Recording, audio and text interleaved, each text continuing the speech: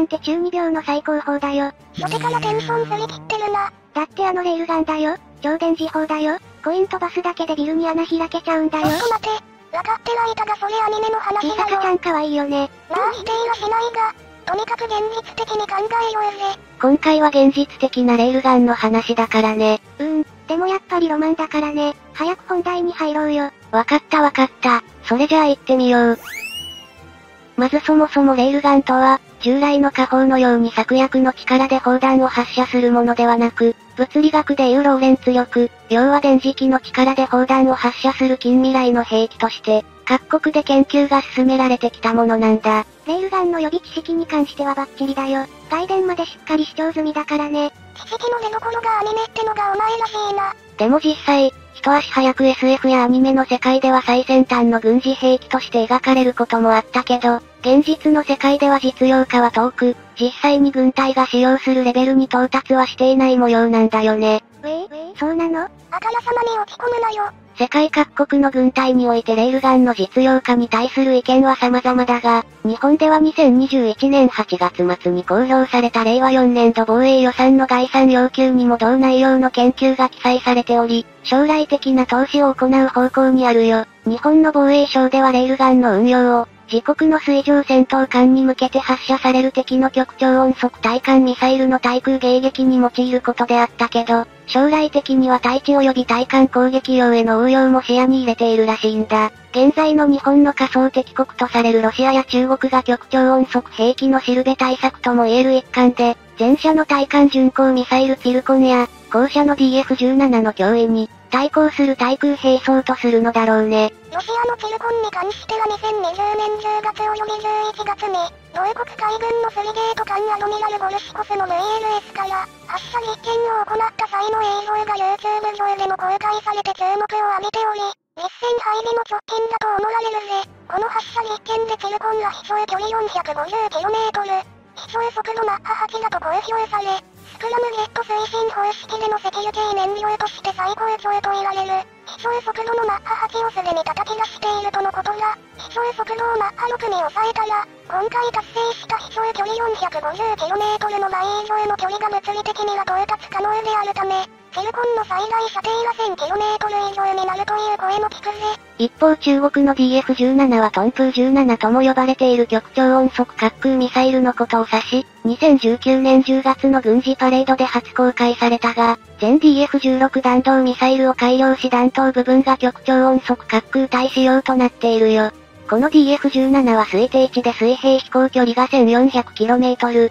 最大到達高度 60km、平均速度マッハ6以上の性能を有すると推測されており、最大高度到達後に弾頭部分の滑空体がマッハ3以上の速度で、目標に向かう恐ろしいミサイルなんだ。フィルコン、DF17 ともに飛翔速度が極超音速ではあるものの、既存の兵器、例えばアメリカのイージス艦が搭載しているような長距離艦対空ミサイルの SM6 などであれば終末時点で迎撃可能と言われているよ。だが SM6 のような長距離対空ミサイルがない場合や、あった場合でも能力を上回る方ら攻撃等への可能性を考慮した場合には、より多層的な防空兵器の保有が望ましく、我が国の防衛省ではこれを念頭に考えているのだろうぜ。日本の海上自衛隊の場合、イージス艦混合型4隻、アタゴ型2隻、マヤ型2隻の合計8隻は、北朝鮮の弾道ミサイル防衛のためにも常備しておく必要性が高く、可能訓練メンテのローテーションからの余裕が少ないんだよな。このような不安を解消するために導入が期待されていた陸上設置型のイーグルアショアも、昨年2020年に発射後のブースター落下の安全性が担保できないとの理由で中止となってしまい、日本のミサイル防衛は修正を急いでいる状態だぜ。そんな状況下で電磁気の力で砲弾を発射するレールガンは、理論上では策略を使用する従来の火砲よりも高速度でかつ、射程距離も長いということから注目を集めており、次世代の兵器としての可能性に期待されているんだ。策略を使用しないレールガンは砲弾を爆発の圧力で加速させる方針が不要で、ネーミングにあるように電動性の高い素材で作られた2本のレール間に、同じ素材の弾頭を置き電力による磁場作用でこれを発射するよ。当然、新兵器開発には膨大な予算と軍事技術力が必要となることはレールガンにおいても同じで、20世紀以降世界最大の軍事力と軍事予算を投じ続けるアメリカがやはり先行してきたな。中でもレールガンの研究開発に着手したのは米海軍であり、2007年頃より研究部署である ONR オフィスオブネーバルリサーチが、英国軍事企業大手 BAE システムズ社と共同スタートしたぜ。BAE システムズ社は、イギリスを中心とする第6世代戦闘機開発プロジェクトテンペスト計画を主導しており、世界最大の海軍の依頼でレールガンの研究開発の任にも参画しているね。米海軍の ONR と BAE システムズ社は、2008年に射程距離約 370km、発生電力量 64MJ を当面目標に掲げて研究を開始し、アルミ製の弾頭を 10MJ で時速約 9000km で発射させることに成功したんだ。さらに2010年にこのプロジェクトは、当初の目標であった発生電力量 64MJ の約半分にあたる 33MJ を達成。プロトタイプのレールガン開発を順調に進め、2014年には艦艇に搭載してテストを行うとの発表もされたよ。プロトタイプのレールガンが搭載されることになった理由は、通常の船舶よりも幅の広い総動型の輸送船で搭載に広いスペースを必要とする関係上、都合が良いと判断されたからだな。当時レールガンを実装化する最有力候補として挙がったのが、2011年から建造が始められていたズムボルト級ミサイル駆逐艦であり、膨大な電力を必要とすると分かっていても、この艦との親和性が高いと、判断されたからなんだよね。ズムボルト級ミサイル駆逐艦は大型のガスタービン機関で電力を発電して使用する、統合電気推進方式が搭載されており、発生した大電力をレールガンにも使用する案が考えられたんだ。はじめの段階でズムボルト級ミサイル駆逐艦の手法は、従来の火砲に変えて AGS155mm 砲と呼ばれるロケット弾の一種を搭載する仕様だったんだけど、レールガンは将来的に代替兵器となることを期待されていたと言えるよね。だが、ズムオルト級ミサイル駆逐艦が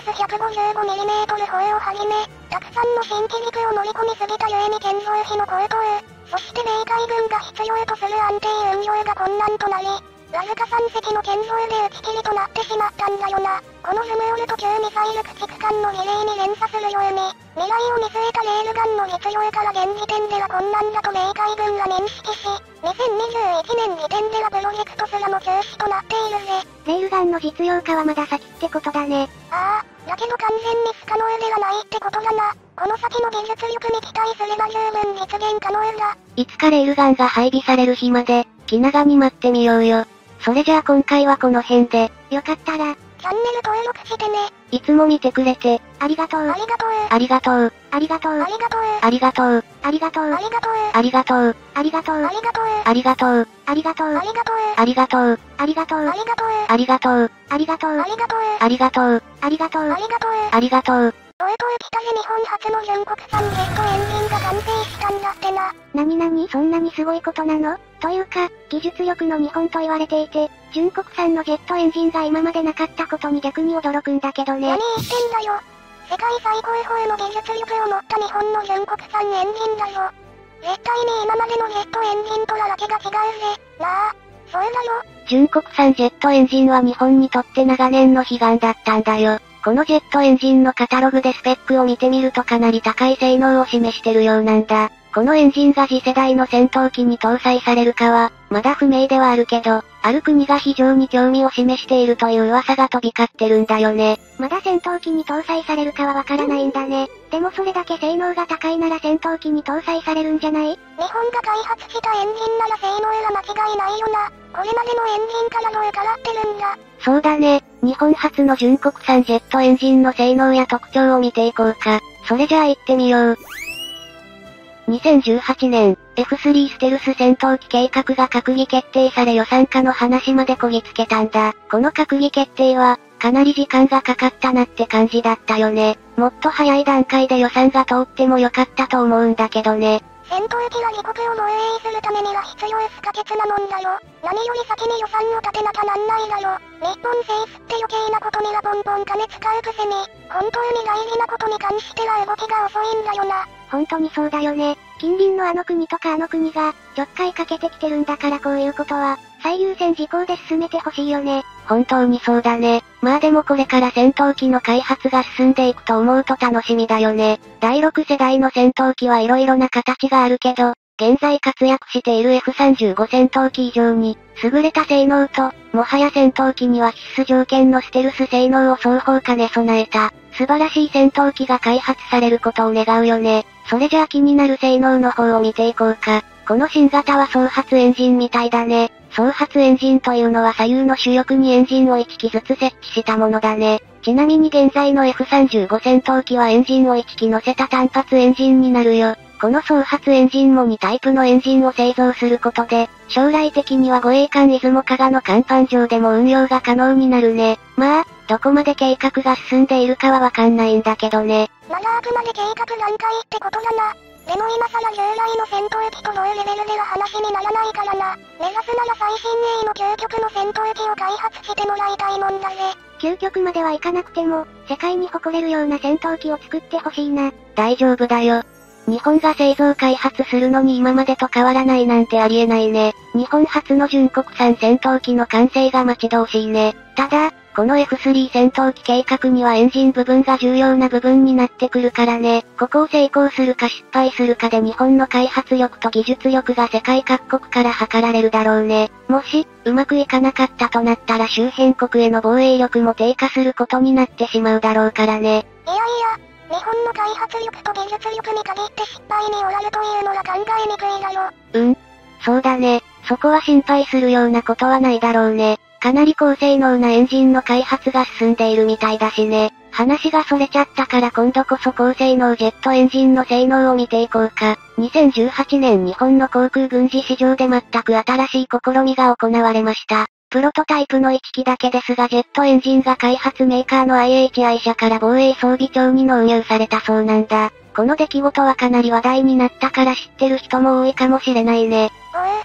ってるぜニュースでも報道してたからな。見た見た。結構盛り上がってたよね。何気なく見てたけどこのエンジンことだったんだね。そういうことだね。このエンジンが XF91 と呼ばれる航空機、戦闘機用のエンジンなんだ。現在の国際的スタンダードと比べても他国の製品にも全く引けを取らない高い性能のエンジンなんだよね。今回、防衛装備庁に納入されたエンジンはアフターバーナーを使用した際の推力は15トン超えで、F22 戦闘機の F119 エンジンが同じように15.9トンだからほとんど遜色ないよね。ちなみに F35 ライトニング戦闘機の F135 エンジンは19.5トンとなっている。あれ ?F35 戦闘機のエンジンより随分推力低くない？確かに数字だけ見れば、かなり劣ってるように思えるよね。でもね、あくまでもプロトタイプの数字だからね。それを踏まえて考えると、ここからの改良や改善により数値がアップすることは間違いないと思うよ。そりゃそうだよな。いきなりプロトタイプで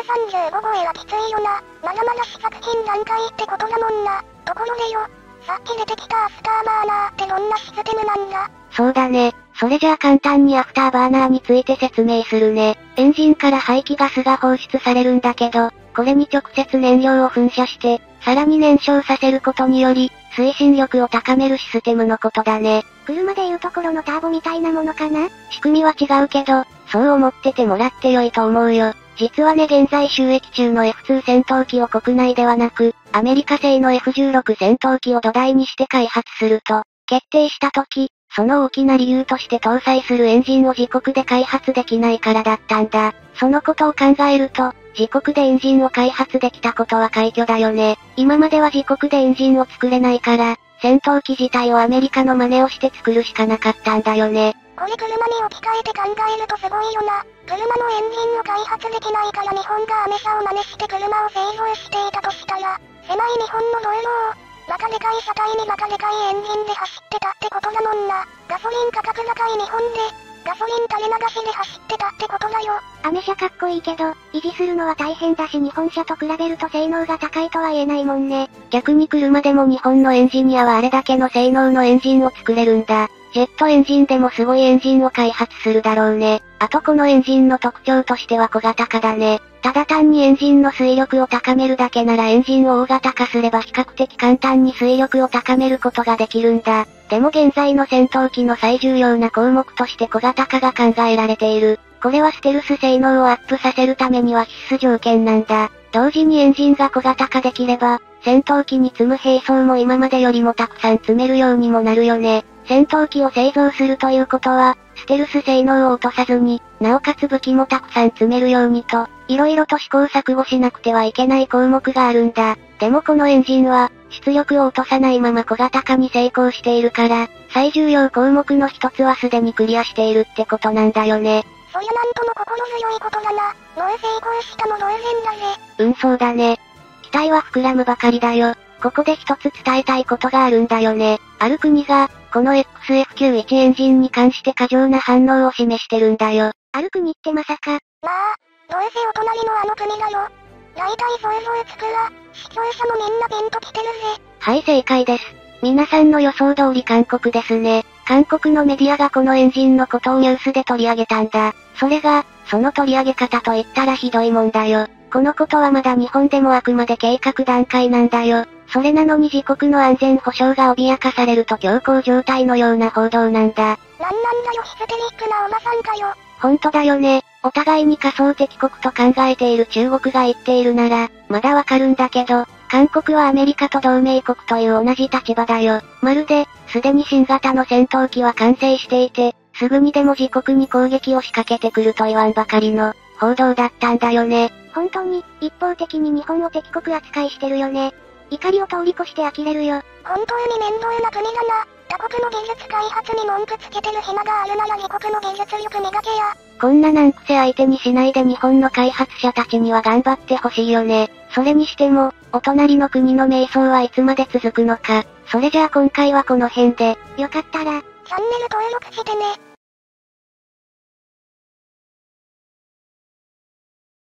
アメリカがバイデン政権に代わっても中国とのペリペリムードが続いてるみたいだな。同じ軍事大国同士、お互い牽制し合ってる感じだよね。そうだな、両国とも世界のトップに立ちたい国同士だから一歩も譲れないんだろうな。軍事大国同士がピリピリムードなのは少し心配だよね。ここ最近は中国がかなり力をつけてきてるからアメリカとしては、トップの座を奪われないように必死だね。中国はまずアジア各国の実験を握ろうと海や空にやりたい放題だよね。日本だけじゃなく、台湾やインドネシアなども、ずっとちょっかい出されてるからね。でっかい国なのにやることら、ちまちまと鬱陶しい国だぜ。ほんとだよ。相変わらず日本の妖怪にも毎日のように侵入してきてるもんね。頻繁に侵入しすぎるから、マスコミもあまり報道もしなくなったよね。うん。そうだね。でもそれが一番危ないんだよね。みんなが慣れてきてるんだよね。他国の領海を犯すということは本当なら大変なことなんだよ。違う国なら、有無を言わさず攻撃して撃沈なんてこともあるくらいのことだからね。日本が中国の行動に慣れていって、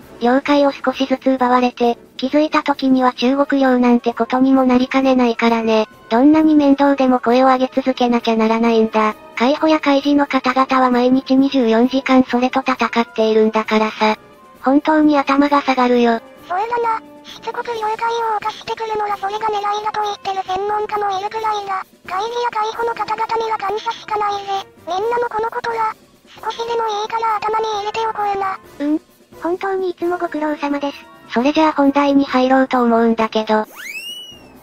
2021年6月アメリカ海軍の第7艦隊に所属し横須賀を母港とする、原子力航空母艦ロナルド・レーガンは、他の艦艇を伴って軍事演習を行ったんだ。この軍事演習でロナルド・レーガンを中心とした空母打撃軍は、巡洋艦21番艦のシャイローや、駆逐艦47番艦ハルゼイといったアメリカ海軍を代表する艦隊が勢揃いしたんだ。ロナルド・レーガンの空母打撃軍は搭載する航空機を含む総合的な演習を行ったとされ、アメリカ第7艦隊によれば定期的に計画された演習であることを強調したんだ。これは、先進7カ国によるイギリスで行われた G7 サミットで中国を名指しで批判する声明を出されたことに対して強い反発を行っている中国に向けてアメリカの方針を改めて示したものではないかと言われているんだ。そりゃあ、中国はピチピチ来てるのよえな。あの国は自分たちのやってることは棚に上げて、他国にやられるとすごい反応するもんね。中国にとっては、領有権を主張する南シナ海でアメリカの空母打撃軍が軍事演習を行ったことは、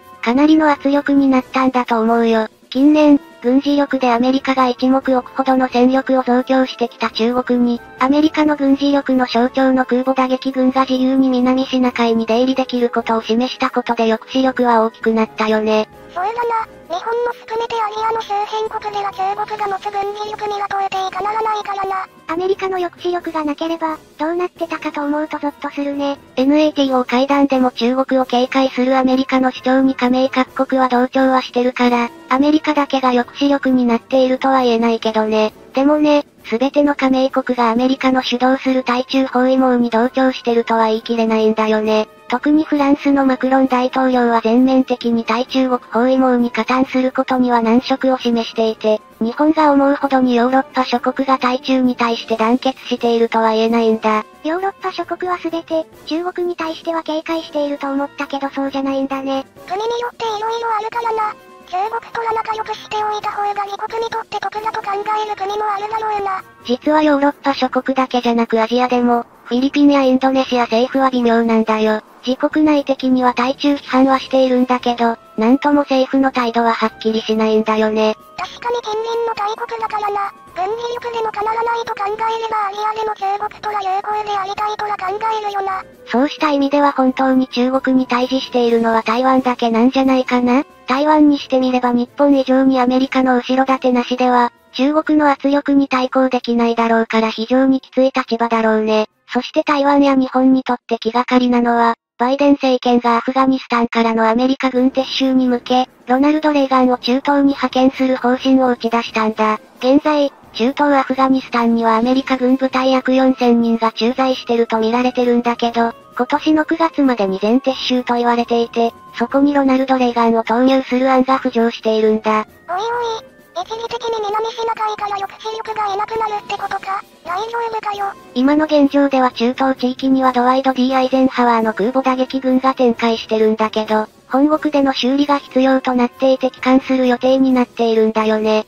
ロナルド・レーガンの空母打撃軍が南シナ海から一時撤退することはまだ確定ではないけれど、アメリカの政策から考えると中東地域に向かう可能性は高いと思うんだ。そうなった場合、他の空母打撃軍がアジア方面に派遣される可能性もあると思うんだけど、まだ今の時点では、明言されてなくて一時空母打撃軍が不在になることも考えられるよね。せっかくロナルド・レーガンが抑止力になってたのに、一時期でも不在になったらここぞとばかりに、中国が圧を強めてきそうだよね。そうだね。アメリカ海軍は全部で11隻の大型原子力航空母艦を保有しているんだけど、修理、メンテナンス、訓練、実戦配備のローテーションで動いているから実際の稼働は最大で4隻程度なんだ。そうなると、南シナ海に新しい空母を送り込むのは難しいかもしれないね。一つの案としては、佐世保に存在する、強襲揚陸艦アメリカを軽空母的に運用するのではないかと言われてるんだ。でもよ、原子力大型航空母艦と軽空母では戦力には大きな差があるよな。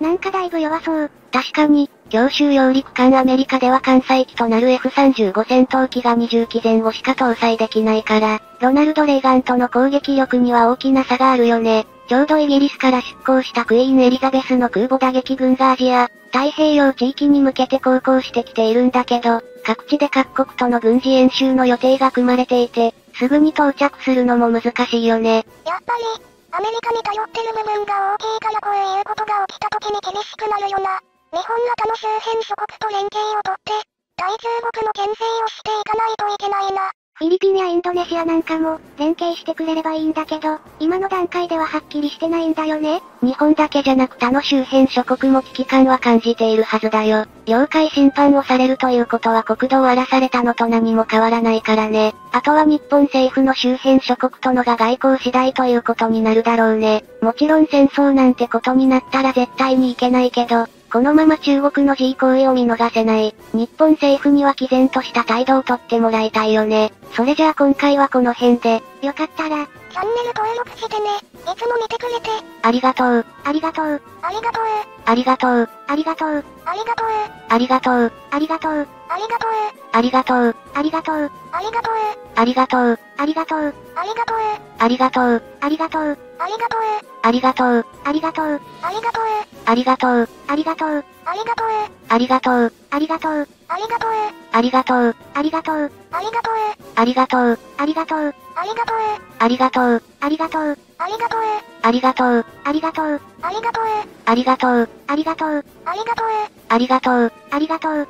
ありがとう。ありがとう。ありがとう。ありがとう。ありがとう。ありがとう。ありがとう。ありがとう。ありがとう。ありがとう。このところら、自衛隊が海と空に大忙しだな。あの国とかあの国が色々とちょっかい出してくるからでしょ？そうなんだよな。一体何がしたいのか。おかげで海上自衛隊と航空自衛隊が大忙しだぜ。でもさ、そういうことが頻繁に起こってるから、潜水艦や護衛艦、戦闘機なんかの開発も、急ピッチで進んでるんだよね。それだな。あんまり触れたことがなかったけど、陸の方らどうなんだろうな。海と空だけの力を入れてるってわけじゃないよな。陸上自衛隊の軍備も、いろいろと開発されてるんじゃないか。陸上自衛隊にも色々と軍備はあるけど、今回は戦車について見ていこうか。実は今現在陸上自衛隊でメインで運用されている戦車は一丸式という戦車なんだ。ん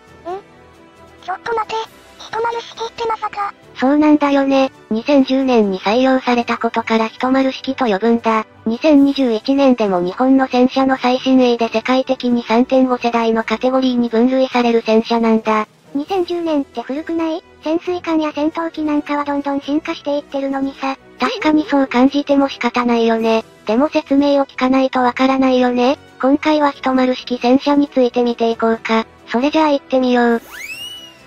一丸式戦車は、一つ前の型式である1990年採用の90式戦車が第3世代と呼ばれていたものと比較すると、若干のダウンサイジングと近代戦に必須の電子戦闘システムを組み込んだ戦車なんだ。一丸式戦車は全長9.4メートル、全幅3.2メートル、全高2.3メートル、重量44トン、最高時速70キロ、四方が44口径120ミリ砲、最大出力1200馬力で乗員3名だ。これだけじゃ比べようがないからわかんないよ。それだよな。全世代の90式戦車のスペックがどうなってるんだ？うん。それじゃあ90式戦車も見ていこうか。90式戦車は全長9.8メートル、全幅3.4メートル、全高2.3メートル、重量50トン、最高時速70キロ、四方が44口径120ミリ砲、最大出力1500馬力、乗員3名だ。一丸式と九丸式を比較してみても車体のコンパクトさと軽量化が目につくよね。最高時速は変わらないけど、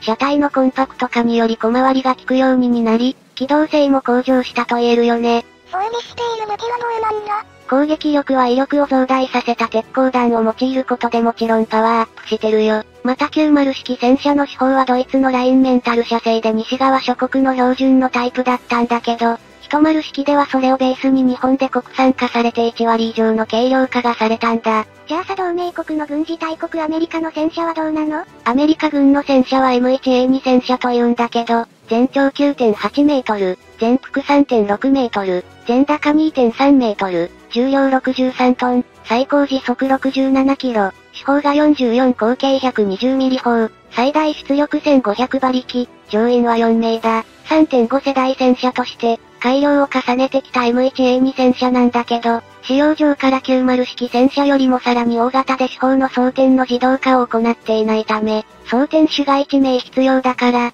乗員は4名になってるんだね。アメリカの戦車もそこまで最新鋭じゃないんだな。アメリカならもっとすごい戦車があると思ってたぜ。確かにそう思うよね。でもさらにアメリカは2020年に海兵隊から戦車を外すらしいんだよね。今後は陸軍のみで戦車の運用は継続されるようなんだ。戦車を外すのか。今後は戦争になっても第二次世界大戦というほどの戦車の重要性がないってことなんだな。アメリカがそうすることで、他の国もそれが主流になっていくかもしれないな。戦車は戦闘には欠かせないものだと思ってたけどもう今はそうじゃないんだね。なんか少し寂しいや。戦争の際に真っ先に最前線に投入される海兵隊から戦車が外されるのは意外だったよね。今後は装甲車や歩兵戦闘車両などの簡易で軽量な車両のみで作戦を遂行していくってことなんだろうね。そして大きく重い戦車の運用は陸軍に任せて作戦の後の段階で、後方支援と同時に投入されることを想定していて、防御的な戦闘や後方支援なんかで運用していくってことなんだろうね。陸地での戦闘での戦車は主力ではないんだな。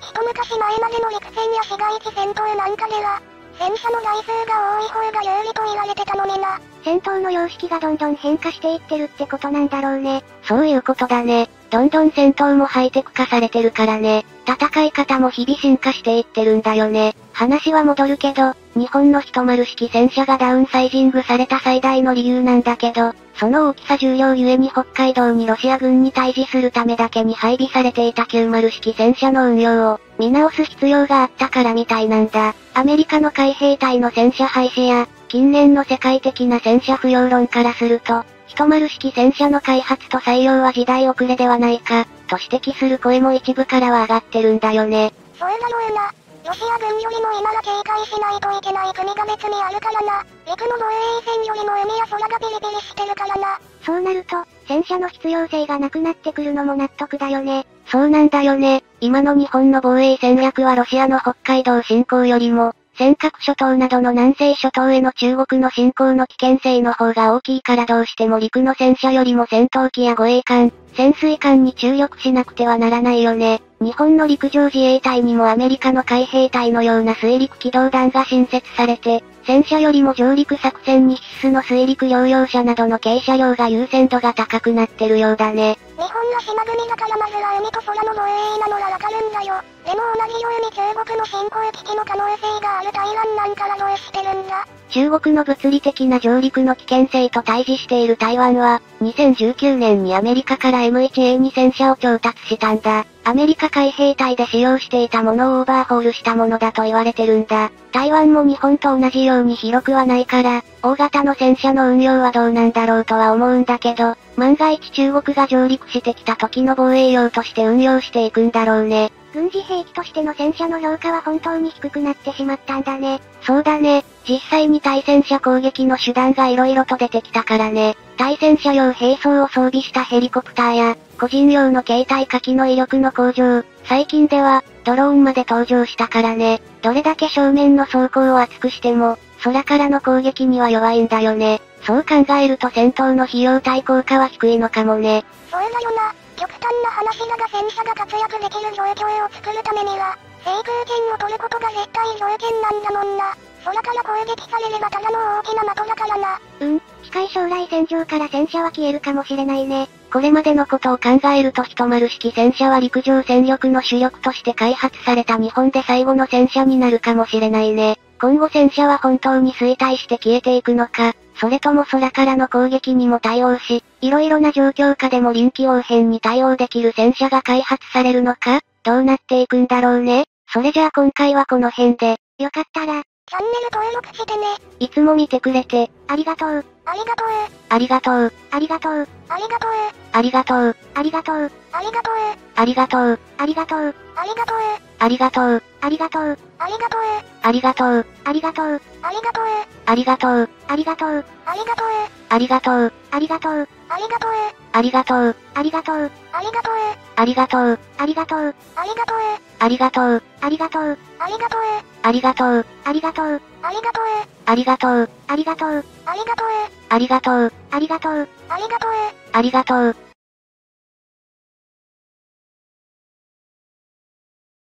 中国はほんと急速に軍備増強していっているね。極超音速滑空兵器の発射実験までやり始めたみたいだからな。軍事費に投入するお金があるなら、もう少し国民の貧富の差を埋めるように努力した方がいいんじゃないかなただでさえ国民の数が多いのに。多いからこそ、軍事力で資源を奪おうって腹積もりかもな。常民理事国が聞いて呆れるぜ。そうだね。さて今回は中国の極超音速滑空兵器と、アメリカが開発中のレーザー兵器について解説していくよ。それじゃあ行ってみよう。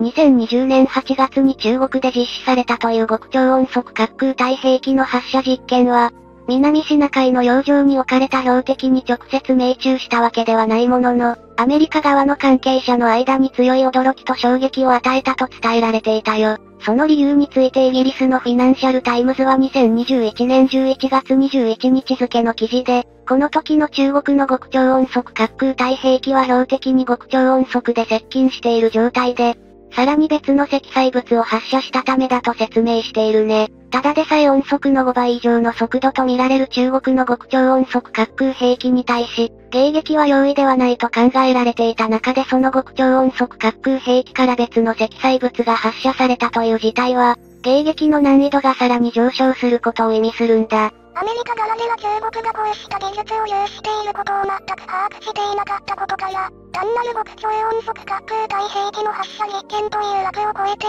この偽証を有識事態だと認識しているということなのだろうな。このような中国の極超音速滑空対兵器の状況を鑑みると、これまでにある物理的な迎撃用のミサイルでの対処はかなり困難なのだろうと予想され、アメリカが開発を進めているレーザー兵器の実用化を急ぐんじゃないか。これまでアメリカのレーザー兵器の開発状況については、2020年5月にサンアントニオ級ドック型輸送揚陸艦の11番艦であるポートランドが、太平洋上で小型ドローンの撃墜に成功したことが伝えられているよ。サンアントニオ級ドック型輸送揚陸艦ってどんな輸送揚陸艦なの？サンアントニオ級ドック型輸送揚陸艦はアメリカ海軍の同カテゴリーでは最新鋭の艦艇で、基準排水量1万9208トン、満載排水量2万5883トン、全長208.5メートル、全幅31.9メートルの艦隊を持ち、2006年から11隻が収益中となっているね。2021年時点でのサンアントニオ級ドック型輸送揚陸艦の中で最も新しい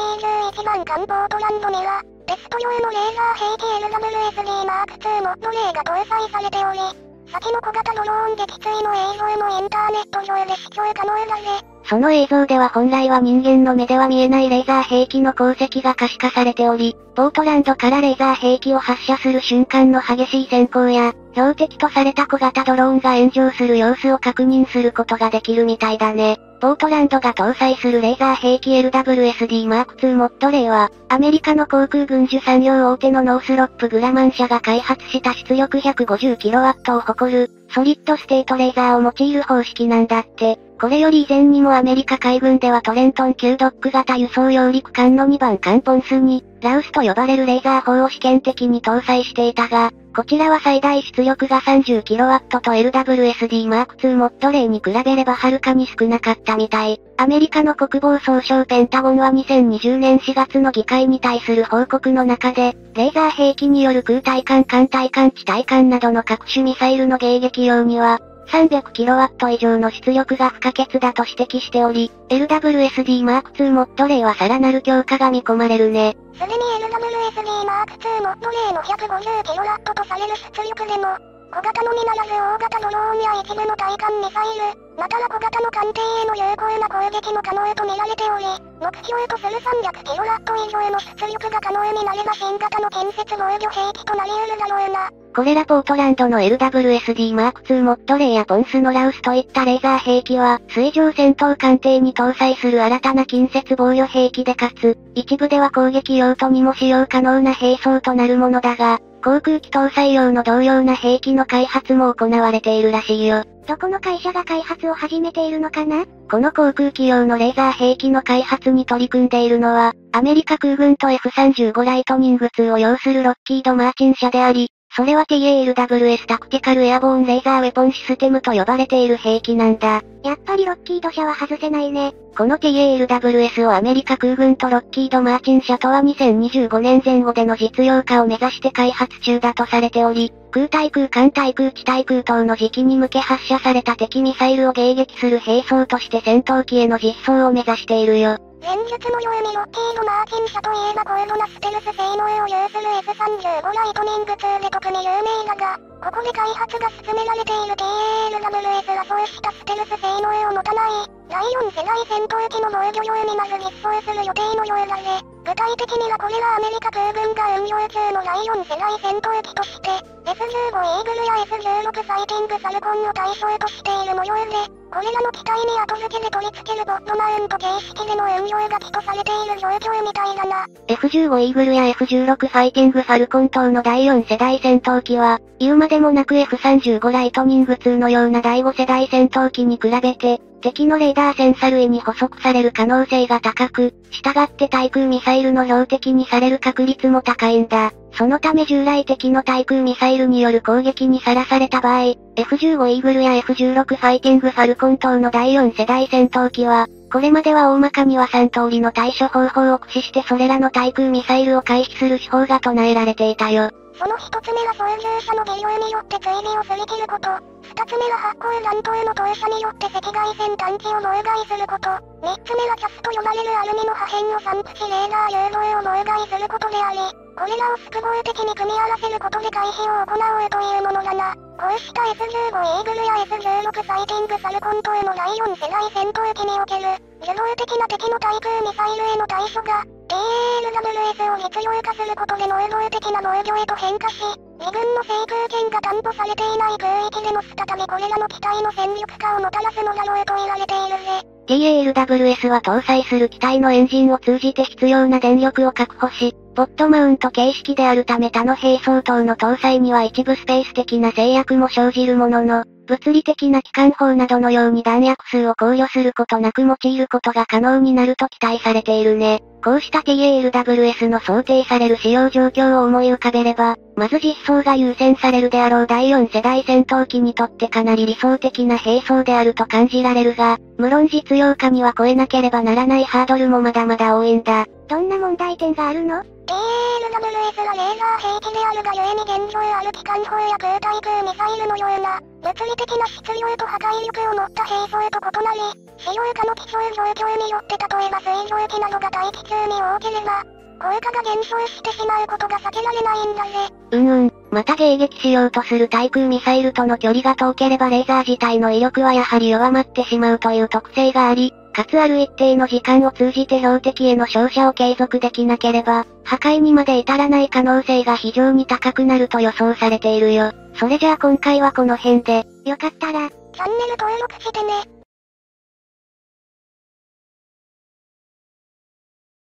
アクション。うー、鼻水が。今年はコロナももちろんだが、インフルエンザも警戒しなきゃいけないからな。教室感染なんて笑えない話だぜ。コロナワクチンだけじゃなくて、インフルエンザのワクチンを接種することも、考えておいた方が良さそうだね。手洗いうがい、マスク着用を徹底して、健康に過ごさなきゃね。視聴者の方々にも気をつけてもらいたいものだな。コロナやインフルエンザに負けず、健康に学校や仕事を頑張ってほしいもんね。さて、今回は第5世代戦闘機の中では最多の採用調達が見込まれている、ロッキード・マーチン社製の F35 ライトニング2について解説していくよ。それじゃあ行ってみよう。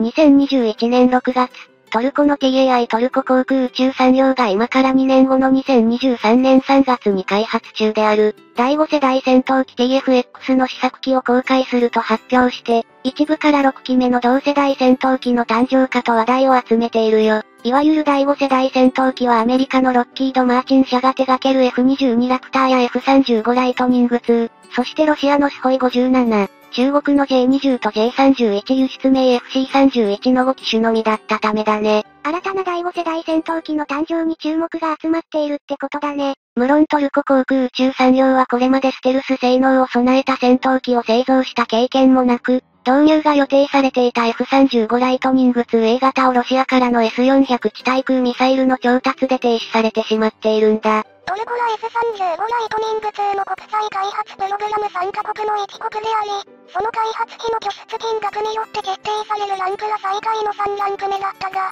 その権利として F35 ライトニング2の部品製造の一部を担っているぜ。トルコ自体は F35 ライトニング 2A 型を100機調達予定であったが、アメリカが撤回を求めたロシアからの S400 地対空ミサイルの調達を強行したため凍結されるも、この技術を TSX に活かすとしたたかなようだな。自国の利益のためにしたたかになるのはいいことだと思うな。もちろん、それによって他国を直接的に脅かしちゃうのはいただけないけど、それに加え F35 ライトニング2の開発は第1ランクでその製造に深く関わると同時に、次の第6世代戦闘機テンペスト計画を主導するイギリスの BAE システムズ社がトルコの TFX にも協力をしているみたい。おお、心強いサポーターも味方につけているんだね。そうした状況を考慮するとあながちトルコの TFX も眉唾ではないようにも思われるんだけど、2020年前後にロシアのスホイ57が約13機、中国の J20 が約50機、J31 が2機程度と思われている生産数を見ても難易度は高いね。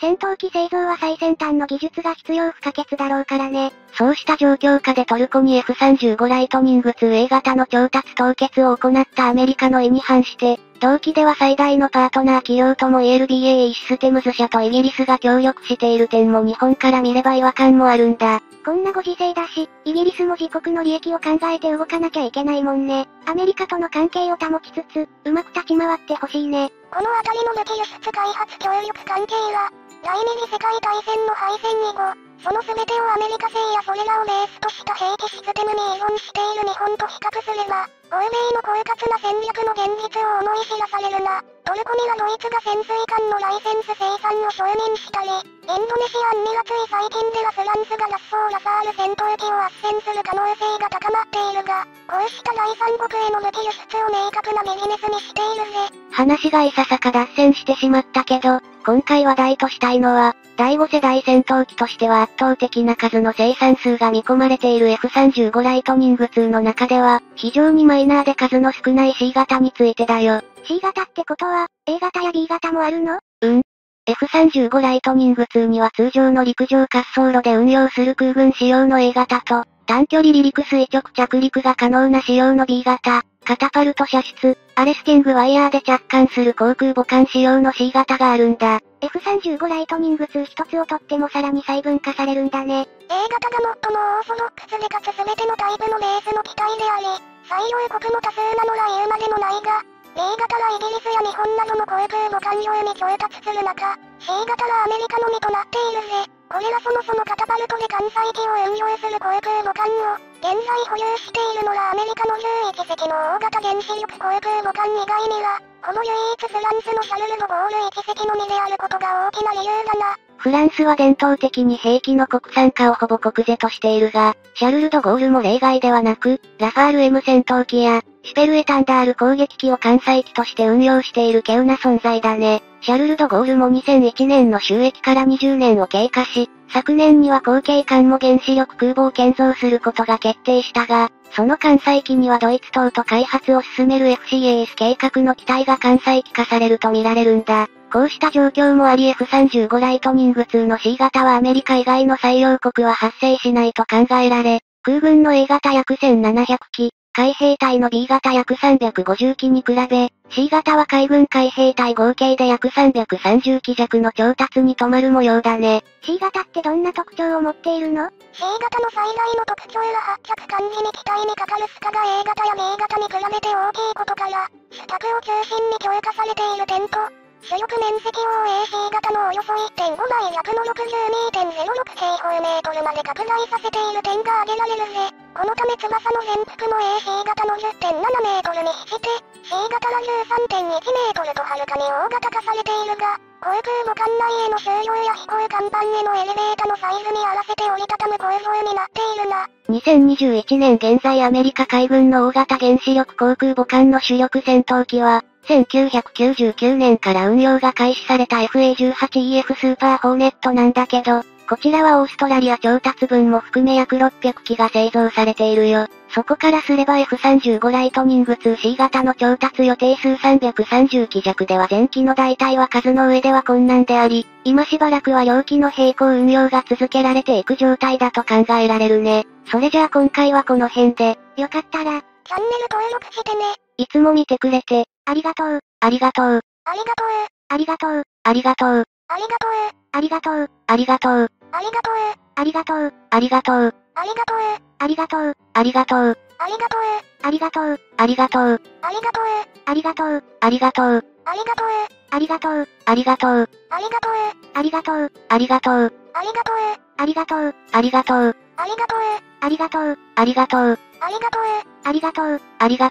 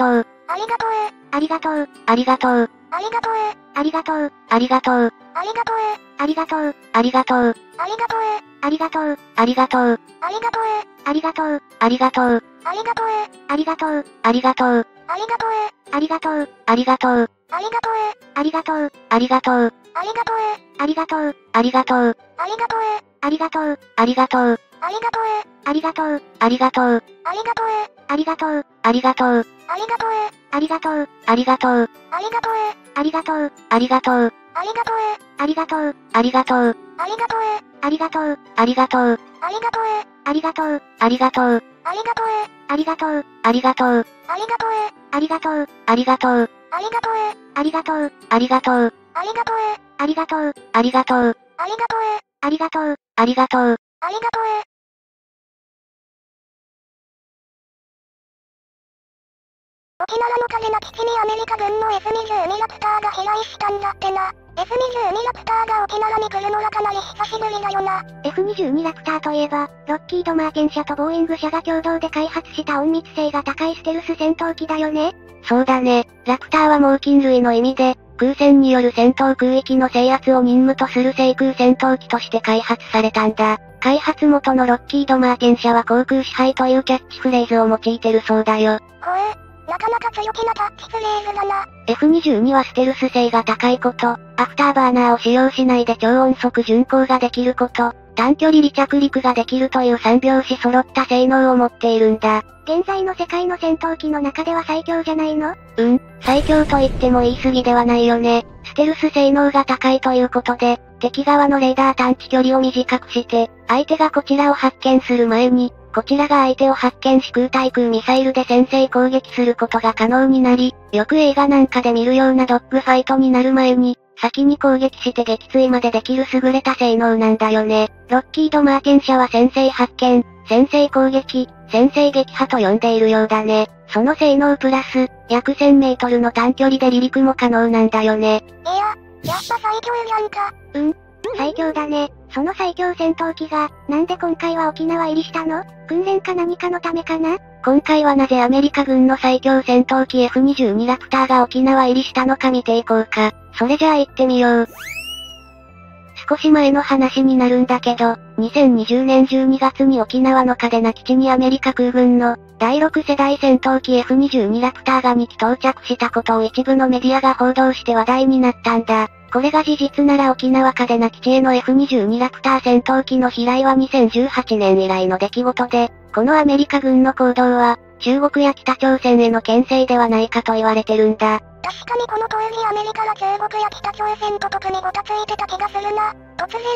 日本の沖縄に最強の戦闘機を送り込むのは何か考えがあってのことなんだろうな。そうだよね。前回の沖縄飛行から2年も経ってるんだもんね。訓練とかならもっと頻繁に来るはずだもんね。今回のラプターの嘉手納基地入りを指摘したのは、アメリカの民間航空機追跡サイトからの情報で、グアム島の空軍基地から空中給油機 KC-135R を随伴させていたみたいなんだ。翌日には同じくグアムの基地から戦略爆撃機 B1B ランサーが発進し日本海方面に進出している。アメリカ大統領選の行方を注視する北朝鮮や中国への牽制行為ではないかと言われてるんだ。2021年は相変わらず微妙な緊張状態が続いてるみたいだが、それ以上のことまでは起きてないからな。バイデン政権になっても、なんとか遊戯が起きずに進んではいるよな。でも相変わらず北朝鮮がミサイルバンバン撃ってるし、中国も近隣諸国へのちょっかいが続いてるからな。決して落ち着いているというわけじゃないから、ちょっとのきっかけで何が起こるかわからないよね。確かに先行きは不安だよね。何も起こらないことを願うしかないね。日本でも2020年12月に航空自衛隊の次期型戦闘機の開発が本格的に始められたんだけど、現在の F35 ライトニング戦闘機を調達する前は F22 ラプターの調達も検討されてたんだよね。年々軍備の強化を図る中国に対して、数的優位性では叶わないので、質的優位だけは確保しようという考えがあったんだろうね。なぜ、F35 ライトニングじゃなく F22 ラプターにしなかったんだ。うん、それはね、単純にアメリカが売ってくれなかったんだよ。日本としては F22 ラプターを調達しようと再三アメリカに掛け合ったそうなんだけど、アメリカ議会側は F22 の輸出を認めないことを決定したんだよね。最新鋭の最強の戦闘機を調達できなかった日本は選択肢が F35 ライトニングしかなかったということだね。なんだよアメリカだよ。同盟国にぐらい言ってもいいだろうがよ。ケチくさい国だぜ。ケチくさいって、確かに同盟国くらいには売ってくれてもいいと思うよね。F22 ラプターは2005年からアメリカ軍では実装されてんだけど、2021年になった現在でも、世界最高の制空戦闘機と言われていて、小型の廉価版の F35 をはるかにしのぐ性能なんだよね。F22 ラプターを日本の自衛隊も導入したかったね。残念でならないよ。たくさん製造して日本にも回してくれてもよかったのにさ。うん、当時の航空自衛隊は F22 戦闘機を何としても導入したかったみたいだけど、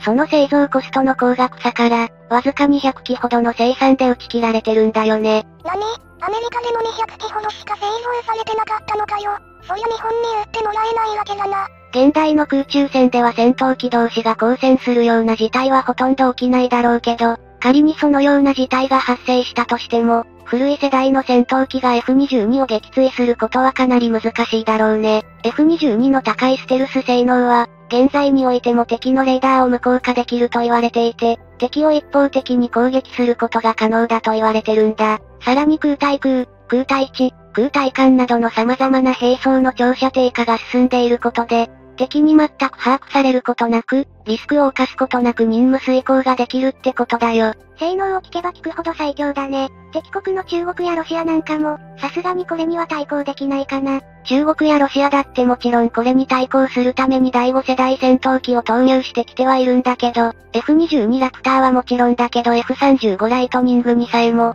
ステルス性能では劣っていると思うよ。でもね、中国やロシアもこのままじゃまずいよね。戦闘機ここの性能ではアメリカが頭一つ抜けてるから、戦闘機じゃなくレーダーや、センサー類を進化させることに取り組んでいるんだよね。近い将来、F35 も F22 も簡単に捕捉されてしまうレーダーが開発されるだろうね。でも、そうなるとアメリカがさらに高いステルス性能を持った戦闘機を開発するか、さらに敵に探知されない位置から攻撃できる長射程の兵器を開発するんだろうな。いたちごっこってやつだね。さらに現在は着々と実用化に向けて開発されてる兵器もあるもんな。うんそうだね。今各国で最も開発に力を入れている兵器は無人機だろうね。たった一人で何機もの無人戦闘機を安全な位置から操縦して、任務を遂行できて、さらに損耗を気にしなくてもいいんだからね。無人機を各国が導入するとまた戦闘のあり方みたいなものが大きく変わるだろうね。アメリカのライオン世代戦闘機の S15 戦闘機は、湾岸戦争などでも撃墜された記録はなく、圧倒的な生存力らしいが、F22 ラプターも撃墜されることはなさそうだよな。日本が導入した F35 ライトニングはどうなんだろな。F35 も F22 に比べると少し見劣りするかもしれないけど、かなり優れた戦闘機だからね。撃墜されるってことはそうそうないと思うよ。それに今は確かに F22 よりも劣っているかもしれないけど、日本の自衛隊が運用し、改良を重ねていくことで、将来 F22 に劣らない性能まで日本の開発者や技術者たちは、F35 を押し上げるかもしれないよ。戦闘機開発はアメリカが今は一歩リード。でも近い将来日本が追いつきそうな気がするのは私だけかな追いつくどころか追い越すことを信じてるぜ。今後も世界の戦闘機事情には注目していこうね。それじゃあ今回はこの辺で。よかったら、チャンネル登録してね。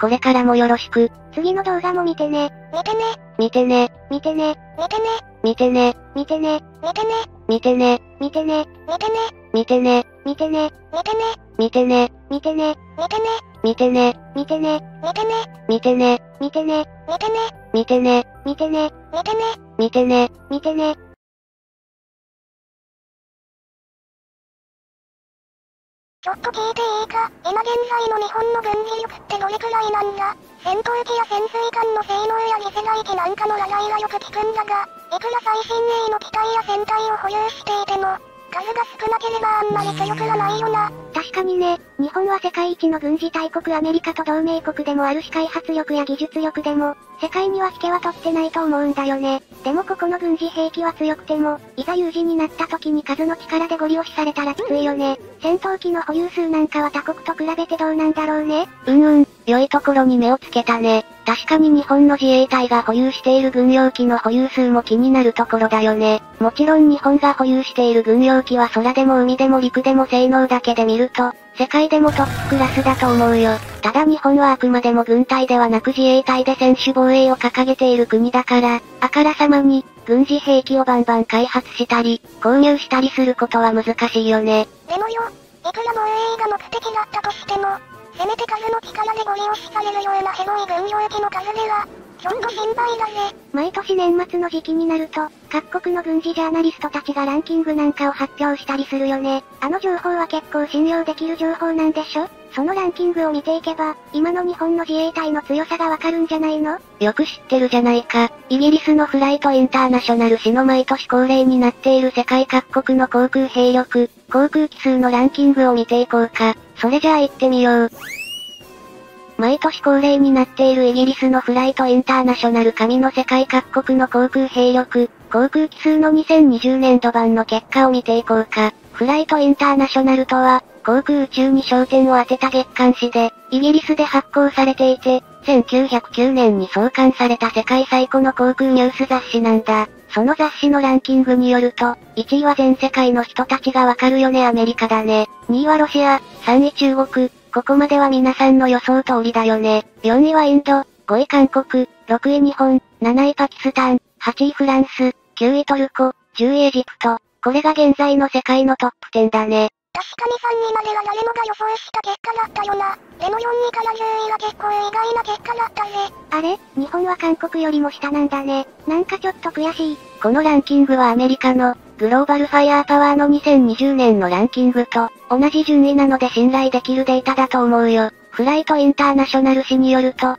現在世界で最も普及している戦闘機はアメリカの F16 戦闘機で、2267機、次がロシアのスホイ2730で1057機、次が F15 の956機なんだ。アメリカの同盟国を中心とした、西側諸国でバックオーダーまで合わせると、5000機以上の生産数になると言われている、F35 ライトニング戦闘機は、まだここでは10位以内には入っていないんだよね。10位に入っているのはロシアのスホイ24の389機なんだけど、もちろんこれは就役中、現役稼働中の機体数のカウントだから、今後数年後には F35 ライトニングも、トップ10入りしてくることは間違いないんだけどね。10年も経てば F35 ライトニングがトップ3入りは確実だろうな。現在1位の F16 戦闘機は最新型の V 型の受注が小国を中心に好調らしいからな。しばらくの間は、F16 戦闘機が首位を譲らないんじゃないかな。軍事費に費用をどんどんぶち込める国は限られてるからな。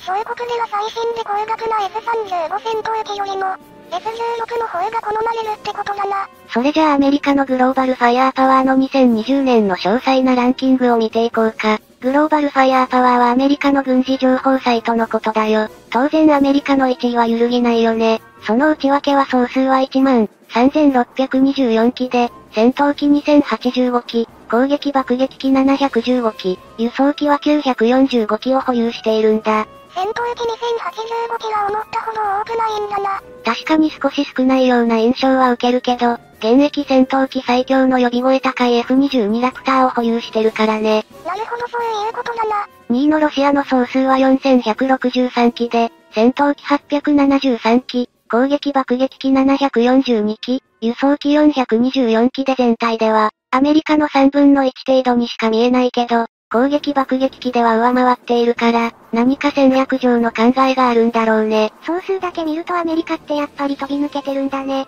2位とも圧倒的な差だね。3位の中国は総数3210機で、戦闘機1232機、攻撃爆撃機371機、輸送機224機だね。すでに戦闘機の数では2位のロシアを上回っているんだよね。おそらくすぐに中国は総数でもロシアを上回り、2位に浮上してくるだろうね。中国とロシアは接戦だね。でも今の勢いなら中国がすぐに追い越しそうだね。4位はインドだね総数2123機で、戦闘機538機、攻撃爆撃機172機、輸送機250機になってるよ。インドも最近は軍事にかなり力を入れているから、これからも拡大傾向が見られるよ。5位は韓国だね。総数が1649機、戦闘機414機、攻撃爆撃機71機、輸送機41機、やっぱり北朝鮮と対峙することを考えて、航空戦力の増強に力を入れているみたいだね。韓国の語彙が意外といえば意外だが、あの行かれた国家の隣で一番危機感感じてるからな。ラトエといえばラトエなのか。そして、6位が我が国日本だね。総数1561機、戦闘機279機、攻撃爆撃機12機、輸送機60機となってるよ。日本は専守防衛の方針で編成されてるから、攻撃爆撃機の数は極端に少なくなってきてるよね。それだろうな。他国に攻め込むということを考えない編成ってことだな。ところでよ、このランキングでやっぱり意外なのは、ヨーロッパの主要国が上位にランクインしていないってことだよ。フランス、イタリア、イギリスあたりが入ってないんよな。8位になんとかフランスがランクインしてるけど、旧ソ連の崩壊で軍縮が進んだということだろうね。でもさ、このランキングを見ると上位にいる国が日本の周辺国ばっかりだよね。それも日本より上位ばかりだしね。そうだね。仮想敵国であるロシア、中国があるからね。そして、一応準同盟国の韓国も、日本を上回る戦力だから気が気じゃないよね。アメリカ抜きでは厳しいのが現実かな。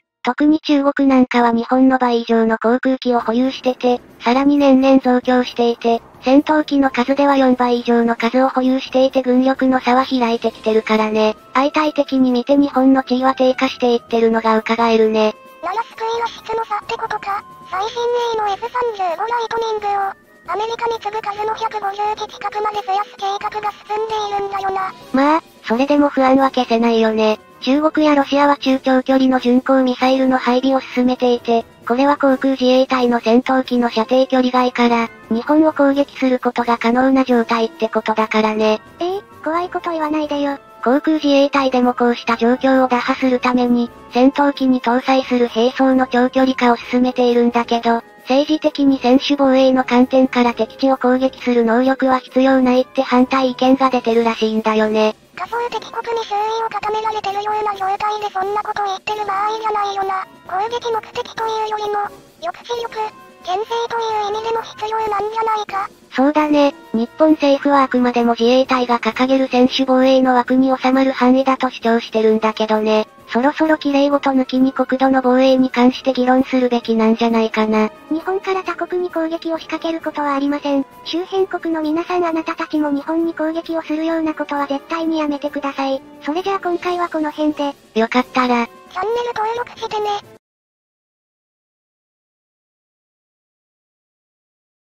オーストラリアの潜水艦計画において日本の案は受け入れられなかったけど、結果的には良かったとする意見が多かったんだよね。日本の技術提供を渋る意見もあったみたいだからね。極端に悪く言っちゃえば、情報漏洩だし。もともと原子力推進型らダメだと表明していたにもかかわらず、今頃になって潜水艦のフランス建造案を変更するという動きがあったからな。そうそう。ところ変わって台湾の潜水艦計画に関して、現時点では順調とは明確に言えないものの、オーストラリアと比べるとかなり進んでいるよ。やはりアメリカの猛烈な圧力に耐えられずに購入したものと、この豪州潜水艦計画を見ていくと状況が大きく違っていることが見えてくるね。オーストラリアには明確なビジョンが見えていない印象なんだよね。そうだね。さて今回は冒頭でも述べたように、豪潜水艦落船は結果的には成功と言えるのか否かについて解説していくよ。それじゃあ行ってみよう。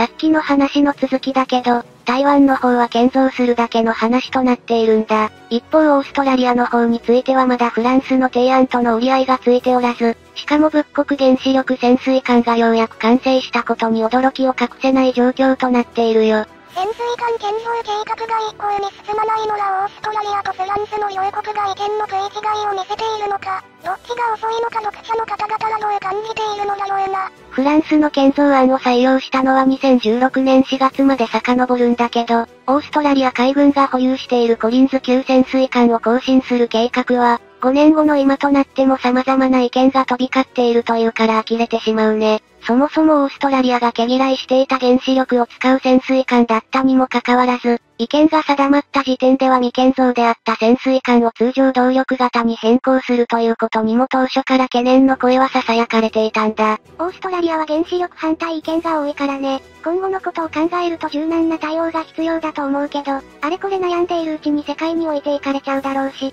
2019年7月に本国のフランスで大元のシフラン級原子力潜水艦が竣工式を迎えたとも報じられたが、その反面オーストラリアでの計画は遅延したまま行き詰まった状態となっているよ。このスラン級原子力潜水艦の機関部分を通常動力型に改良した艦艇の名称が、アタック級潜水艦と呼ばれておりオーストラリアが採用したのが後者の形式となっているぜ。本国のフランスでは、このシフラン級原子力潜水艦を合計6隻調達する計画で建造が進められており、1隻あたりの建造費用は約1830億円もかかると報じられているね。フランスの建造費用を基軸に考えて、機関部分を通常動力型に変更するという違いはあるものの、12隻を建造予定のオーストラリアの1隻あたりの費用は約5000億円まで高騰しているというから、納得できずに計画が進まないというのも理解できるかも。高騰の額が凄まじいね。建造計画に遅延が生じる前から1隻あたり約3750億円相当と見積もられていただけに、額面の金額だけを考えるならば相当に高額な建造費をすっかけられたと言わざるを得ないだろうな。この新型潜水艦プロジェクトを発表した際、入札に加わった日本の提示額は、1隻あたり約1500億円であり、この金額はフランス案の半分以下だったがオーストラリアは高い方を選択したよ。しかも海上自衛隊の最新鋭の総流型潜水艦投入に関しては、日本での建造費700億円未満とされており、これと比較すれば倍以上となる建造費を定義していたとも言えるが、船室内を外国人仕様にするなどを考慮すれば当然の額だな。日本と同様、通常動力型を欲していたオーストラリアに対し、原子力潜水艦しか建造していないアメリカは並走の観点から日本案をしていたんだ。要するに日本の潜水艦がアメリカ製の兵器システムを実装しているため、自国に利益が生まれるからだな。また、それを運用している案であれば、ほとんどそのままの形で導入を進められることで、時間的にも使用的にもメリットが高いと考えて日本案を押したのだろうぜ。そのような背景があったんだけど、オーストラリアは潜水艦の自国建造によって国内雇用などの経済対策を伴う方向性を政治的にも選択することができなかったため、それが可能なフランス案の採用に踏み切ったというわけだね。日本が武器輸出の緩和を実現して初の大物案で、費用的にも時間的にもオーストラリアにとって、優位性を持った提案を行えたかのように見えたけど、すんなりとことが進まなかったというのを学べてよかったとも思えるよね。日本初の武器輸出の機会を逃したことに対して、悔しいと感じる声が上がる一方で、日本防衛の生命線とも言える潜水艦技術を結果的に提供せず済んだことをむしろプラスと評する声も上がっていたよ。日本の技術は提供するには惜しいもんね。確かに近年のオーストラリアの経済的な位置づけを考えると一理ある考えとも言えるものだな。この背景に最大の貿易相手国が今や中国であるという現実が後押しされていることから、オーストラリアの政権そのものが中国の強い影響下にあると考える意向も多く、現在日本が最大の仮想敵としている相手に潜水艦の情報が漏れずに済んだという指摘だぜ。ここで言っている説の信憑性が明らかにされないとしても日本と同じく思考を海で囲まれたオーストラリアにとって、潜水艦任務である海底の先乗りとしての意味合いは、あらゆる戦術を超えた戦略的な位置づけを持つものと言えるだろうな。聞くとことによるとオーストラリア海軍の中からこの潜水艦代替計画の今後の流れを考えた場合に、原子力推進型の導入も視野に入れるべきとの意見も上がっており、混乱に拍車をかけているらしいね。オーストラリアもなかなか揺れてるね。今の合衆建造計画の進捗では最終となる12番艦が収益する頃には2050年を迎えると言われており、確かに30年後には取り巻く世界環境も変化しているとは思えるがオーストラリアの原子力を使用しないという前提を無にした意見とも取れるね。そもそも原子力推進型であるスプラン級原子力潜水艦を原型にしているということもあり、費用を上乗せすることで変更が可能であると建造を請け負うネイバルグループが表明しているぜ。オーストラリアが通常動力型潜水艦にこだわる理由は国の法律によって原子力の採用が規制されているからであり、条文を変更しない限りどこまでが現実性のある話なのか、今一つ判断に苦しむ見解だとも考えられるな。太平洋戦争の時には日本が米国と合国を分断する作戦を実施したことで、国防に対する海上の備えの必要性を十二分に認識していたと考えたオーストラリアだからね。現在のオーストラリアの潜水艦導入をめぐる報道を見ていると、やはり最終的な軍事兵器は自国で建造できる環境を持つことも大事なんだという、世界中に教訓を与えているかのようにも感じ取られるんじゃないかな。それじゃあ今回はこの辺で、よかったら、チャンネル登録してね。いつも見てくれて、ありがとう、ありがとう、ありがとう、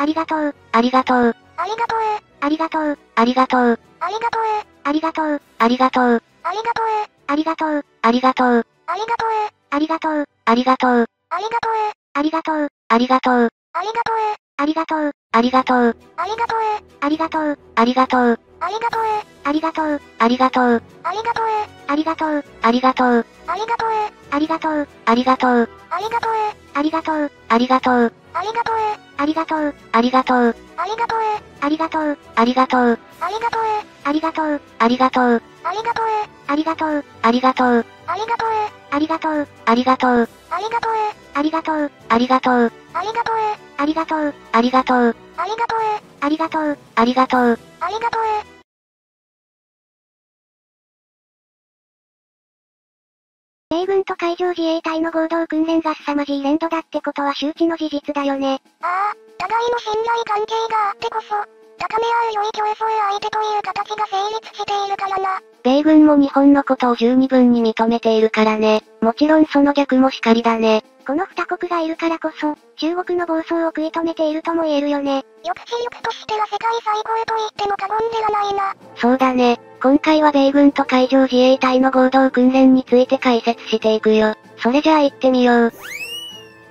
昨今、2021年11月16日、海上自衛隊は護衛艦加賀村雨と、米海軍第7艦隊の駆逐艦ミリウスと共同で対潜水艦想定訓練が実施されたね。海上自衛隊からは近隣国の仮想敵としての艦名不明の潜水艦と対戦哨戒機 P1 が参加したほか、米海軍からは対戦哨戒機 P8 ポセイドンが参加して実施された潜水艦の探知追尾の共同訓練が、詳細不明な場所で行われたよ。軍事演習も機密事項だから詳細は公開されていないんだね。そうだね。そもそも機密に値する潜水艦の動向まで発表されるのは異例のことであるが、ここ最近では2018年9月、2020年10月の対潜水艦船訓練の公表に続いて3度目で、南シナ海において人工島を造成して軍事拠点を建設するなどして活発に行動している、中国海軍に対して抑止力を示すためだと言われているよ。あえて公表することにもメリットがあるってわけだ。海事護衛艦加賀と村雨は、令和3年度インド太平洋方面派遣部隊 IPD21 として8月下旬から数々の共同訓練を参加していて、今回の共同訓練もその一環であるされ、山村海上幕僚長は記者会見で、どの海域にあっても高度な訓練が実施可能であることは、日米海上相互運用性が高いことを示していると意見を述べているみたい。本訓練が実施された海域の詳細は公開されていないが、フィリピンのルソン島スービック港に近い南シナ海の公海上ではないかと噂されており、訓練内容や海上自衛隊の潜水艦を隣国の敵潜水艦に見立てて、海上と空の上から捜索探知して最終的に駆逐する流れを確認したぜ。南シナ海における海事潜水艦の活動については、2018年9月に安倍晋三元首相がテレビ出演した際に、同近海において潜水艦が15年ぐらい前から訓練を実施して連動向上させていたことを明らかにしているね。しかも、同等の訓練の詳細を明らかにしなくても周辺国は把握しているはずであるとして中国を牽制したが、この安倍元首相の発言に対する中国側の反応から動揺を感じ取り、海上自衛隊が南シナ海に進出していたことを気づいていなかったと思われるよ。今回の海上日米共同訓練で仮想的潜水艦とされていた海上自衛隊の潜水艦が、親潮型と総流型のどちらかは公表されていないが、戦術の安倍元首相の発言が中国は海事潜水艦を探知できていないことを指摘していたとするなら、海上自衛隊も米海軍も、静粛性が高く中国軍が探知できない日本の潜水艦を探知することができることになり、強いては騒音の塊とされる中国海軍の原子力潜水艦などは簡単に、探知攻撃することができると豪語したことになるんだよね。同じく11月16日に海上自衛隊が発信したプレスリリースによると、11月21日から30日にかけて日米共同演習及び日米豪華独共同訓練が、日本近海において実施されることを掲載していたんだって。この壮大な共同訓練が今回と同様に対潜水艦船訓練を想定して、海上自衛隊と米海軍だけでなくオーストラリア海軍、カナダ海軍にドイツ海軍との連携強化と相互運用性の向上を目的に実施され、日本からは艦艇約20隻に航空機約40機が参加するほか、アメリカからは約10隻、オーストラリアから2隻、カナダとドイツから各々1隻が細部艦名や部隊名などは捨ててあるが実施されているぜ。参加国としてドイツ海軍艦艇が海上自衛隊の演習期間中の共同訓練に加わったのは初であり、先日東京港に寄港したフリゲート艦バイエルンがおそらく参加していると思われるよ。我が国の海上自衛隊の対潜水艦警戒監視能力の高さは米海軍も認めるところだけど、特に固定翼哨戒機 P3C と P1 の2種類の哨戒機を駆使する航空軍部隊の対戦哨戒能力は世界一と言われており、実戦経験がない自衛隊でありながらも職人芸のような匠の技量を磨くことができたのは、オホーツク海や日本海に出没を繰り返してきた東西冷戦時代の旧ソ連潜水艦のおかげと言ってもいいだろうね。この優秀な海上自衛隊航空軍の中核である P3C 部隊は、パイロット2人と、戦術情報の収集運用担当の戦術航空士 TACCO や対戦員ら精鋭11人で構成されていて、捜索用レーダー赤外線暗視装置磁気探知機電波探知装置音響探知機その部位などを駆使して、日本領海に近づく他国潜水艦を探知追尾して追い詰めていることを主任務として戦力化されているよ。このため、川崎重工業がライセンス生産した米産 C が大量年数を迎えるにあたり、さらに優秀な性能を誇る攻撃機として初の国産オリジナルとして開発された B ランの配備が進んでいるが、隊員の高い技量が必ず受け継がれていくに違いないな。約4年前の2018年1月に沖縄県の尖閣諸島周辺海域において、中国の093型小級攻撃型原子力潜水艦が先行したまま接続海域に勝手に侵入し、海事哨戒部隊に探知され2日間にわたって追い回された挙句に浮上し、中国国旗を掲げて逃げ去った事件をご存知かな？有名な出来事だから、うちの視聴者さんは知っているよね。この中国海軍原子力潜水艦は日本の対戦哨戒能力を試すつもりで侵入したのではないかと言われているんだけど、この潜水艦が接続海域に先行して侵入した時点で海事哨戒部隊は、中国の原子力潜水艦であることを断定して即報告を上げて内閣にも知らされていたんだ。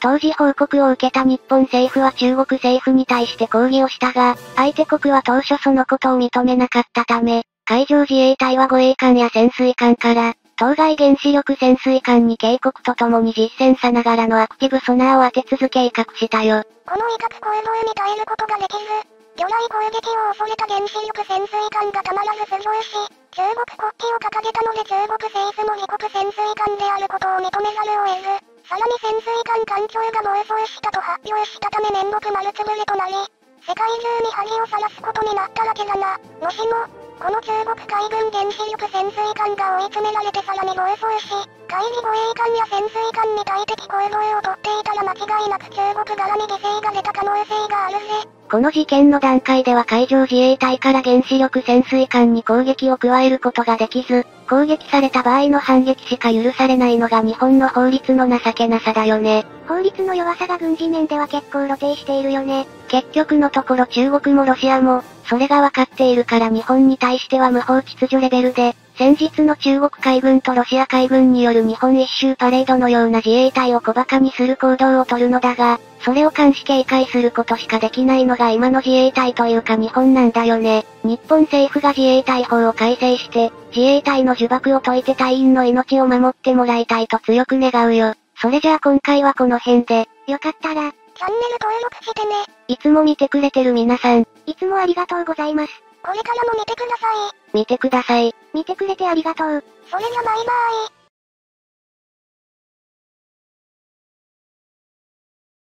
韓国航空宇宙産業 KAI はインドネシアと共同で、第4.5世代ジェット戦闘機を開発中みたいだね。はっきり言って韓国のものづくりは雑なところがあるから不安は拭えないよね。まあ自国で稼働する分にはいいんじゃないか。海外に輸出するとなれば、娯楽で買えたもんじゃないけどな。安全性は置いておいて、価格に関しては安価だから、購入を検討する国もありそうだけど。まあそうなれば自己責任になってくるよね。今回はそんな韓国が開発中の第4.5世代戦闘機 KAI-KF21 ポラメにハリボテ疑惑発生したことについて、その真相を解説していくよ。それじゃあ行ってみよう。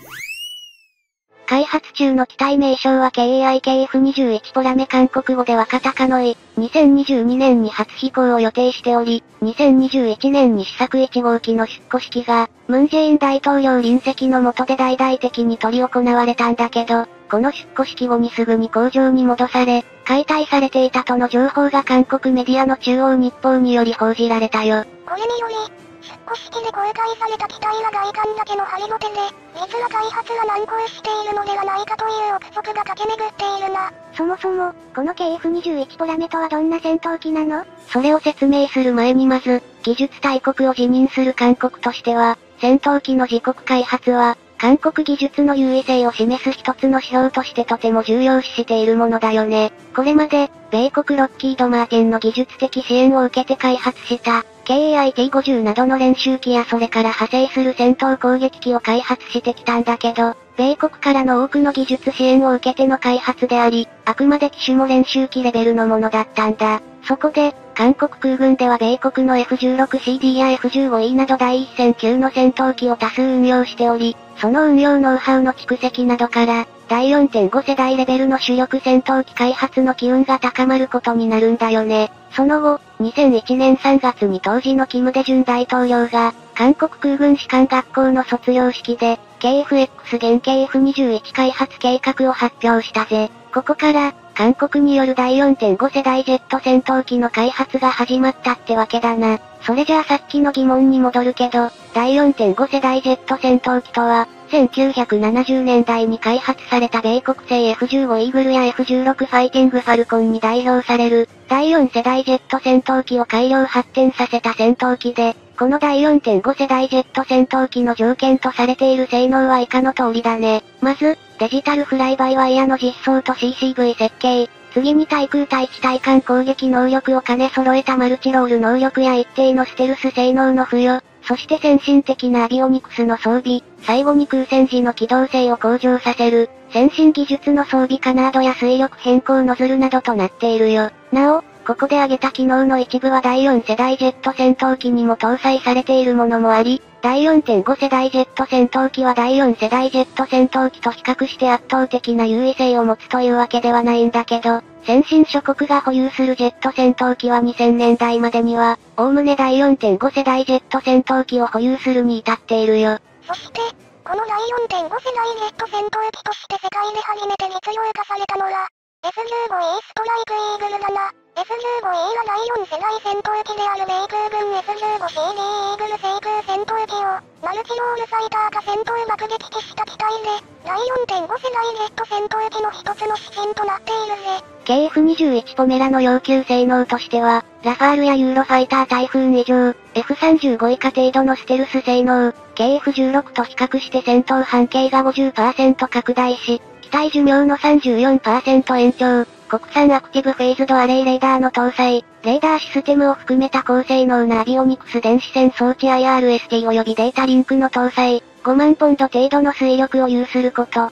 高速迎撃能力、スーパークルーズ能力超音速巡航能力、マルチロール能力だね。以上のように本格的な第4.5世代ジェット戦闘機を初めて開発する韓国としては、かなり意欲的な要求性能となっており、これが実現すれば、世界的にも第5世代ジェット戦闘機を除けば、ジェット戦闘機の中でかなり上位クラスの性能を獲得することになるんだよね。KF21 ポメラが実用化されれば、ベトナム戦争により活躍しているが、もはや陳腐化してしまっている F4DE ファントム2や F16 以前の軽戦闘機である F5ES タイガー2に代わるものとして期待されるぜ。開発予算として8兆5000億ウォン約8260億円であり、機体量産費用も含めた総事業費は18兆1000億ウォン日本円で約1兆7300億円にも上り、巨額の費用が予想されているんだよね。そのため、他国へも KF21 ポメラの共同開発を打診しており、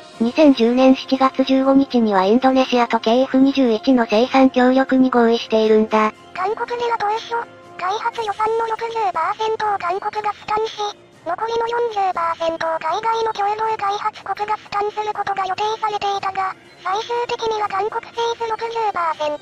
KAI20%、インドネシアが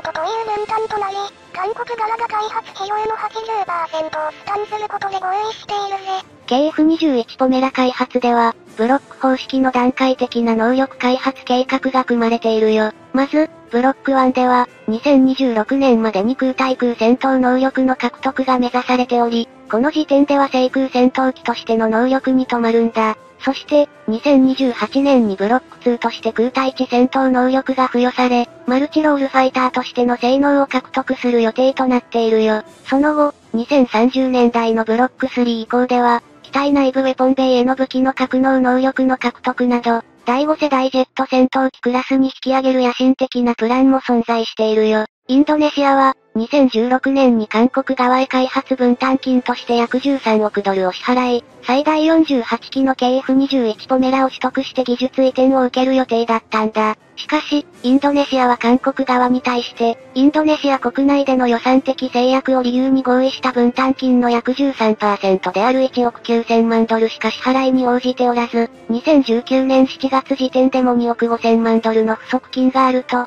韓国防衛事業庁関係者が証言しているよ。これに対してインドネシアは、分担金の支払いを現金ではなく、インドネシアがスペインと共同生産した CN235 輸送機を物納することで変えたい旨の提案をしていますが、2020年12月にはインドネシアがフランスの第4.5世代ジェット戦闘機であるラサールの購入に関心を示しているとも報じられており、インドネシアと韓国が KF21 開発計画でうまく連携が図れていないことが明らかになっているぜ。2021年4月9日にお披露目された KF21 ポメラだけど、このお披露目会である国産戦闘機姿勢1号機出庫式に登場した1ヶ月後には、エンジンや外装、ランディングギアまで機体を構成する大部分が分解され、骨組みの状態で工場に鎮座していることが、韓国メディアの中央日報によって報じられているよ。出庫式の時点では偽装色の塗布まで終えていた状態であったので、その時点から完全に解体することは異例であり、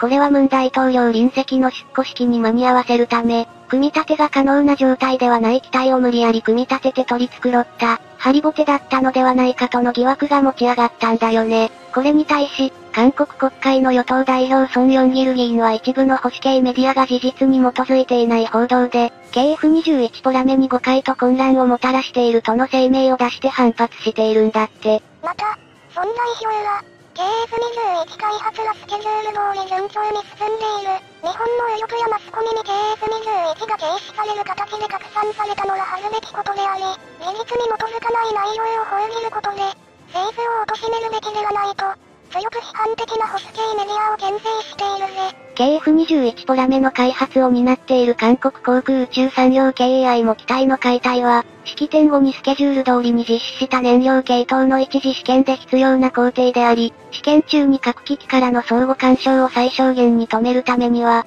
このように解体することが必須だと主張しているんだって。今後、燃料系統の一次試験が完了した後は、地上走行や飛行制御システム関連試験、エンジンの稼働試験などを順次実施していくとのことだね。今回のハリボテ疑惑だけど、中央日報が報じた KF21 の解体に積する記事の内容は、すべて匿名が条件の事象関係者からの証言によるものだったんだ。しかし、この記事に対して他のメディアが、実名による専門家の KF21 ポメラ解体に対する見解を報じ、その中で燃料系統のテストで機体を解体することに不自然さはないし、主要な装置の取り外しは海外の戦闘機開発でも一般的に行われている旨の証言を行っているよ。これらのことから、今回の KF21 ポメラの解体が、KF21 ポメラの技術的欠陥や開発難航などに直結する可能性は高くはないと見られており、朝鮮日報のこの記事に対する信頼性は低下しているんだ。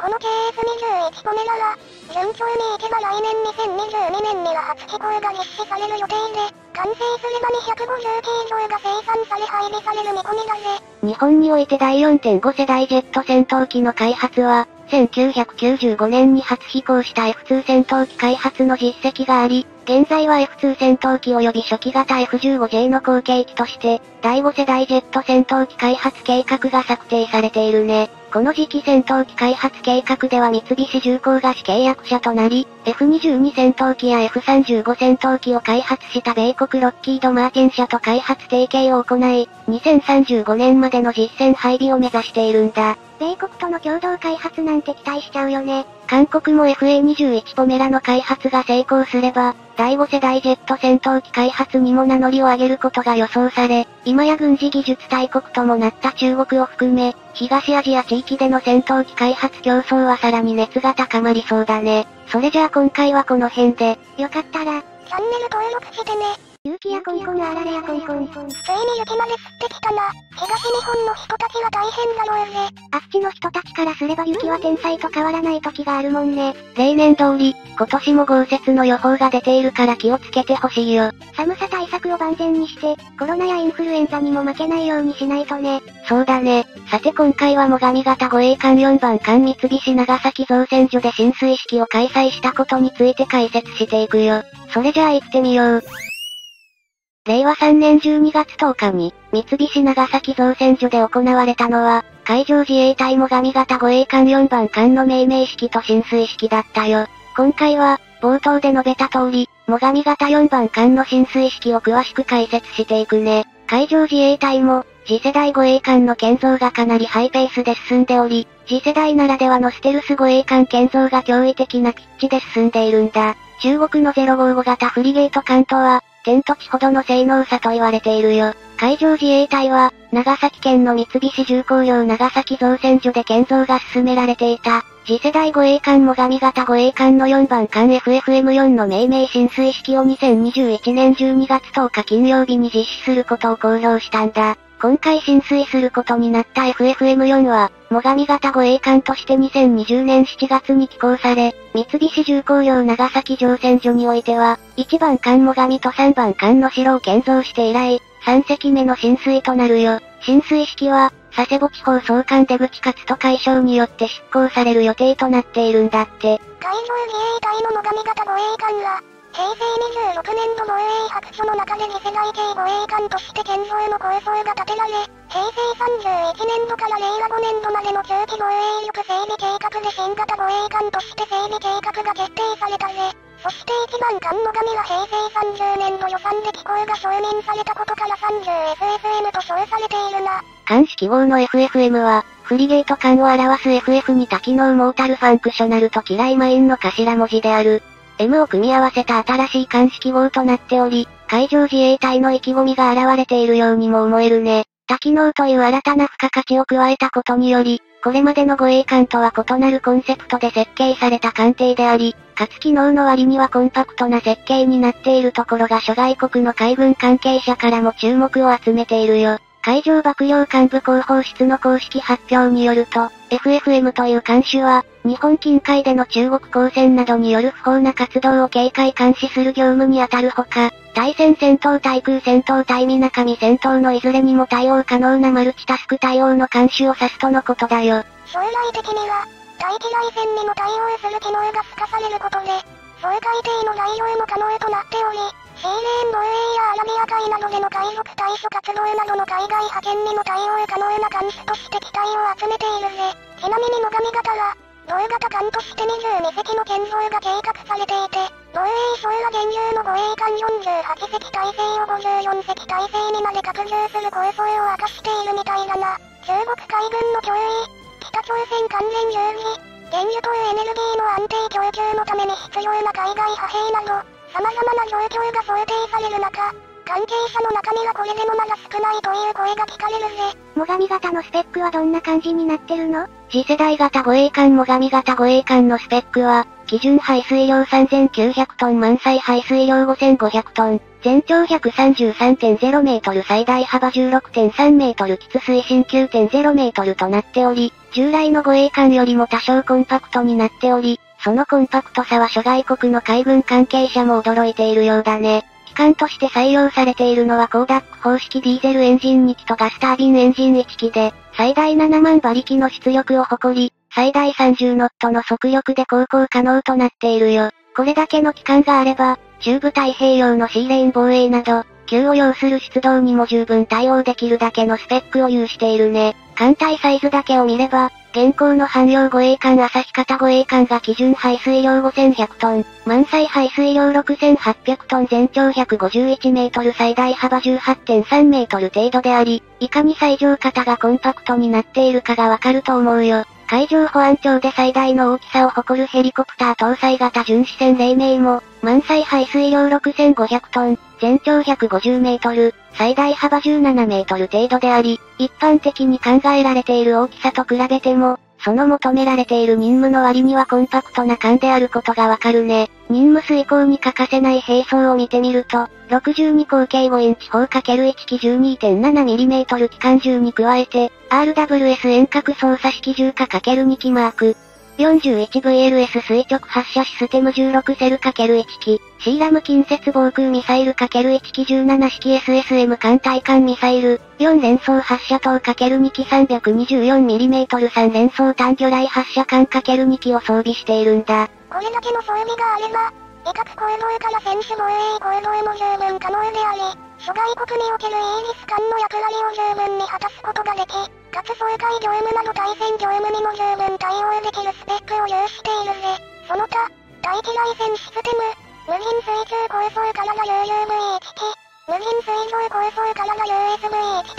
H60 系哨戒ヘリコプター HT を搭載する予定があるものの、VLS と USB については後日装備とされており、今後2022年に声に搭載される予定とされているな。艦のコントロール関係を見てみると、C4ISR として戦術情報処理装置 OI91 が艦船運行システム、艦船維持管理システム艦内外通信システム指揮統制システム各種武器システムなどを統括して運用可能となっており、そのうち戦術データリンクは NATO 北大西洋条約機構規格であるリンク22に対応しているよ。センサー類には、多機能型の OPY2 レーダーが装備され、その他にも OQ91 大気雷専用ソナーシステム、栄光ソナーとアクティブソナーの両機能を有する OQ925 水上艦用ソナーシステム VDS-TASS が搭載されているんだ。その他、電子戦装置として従来の護衛艦と同じ NOL93E 電波探知妨害装置が搭載されており、これも諸外国の同型艦に引けを取らないスペックとなっているね。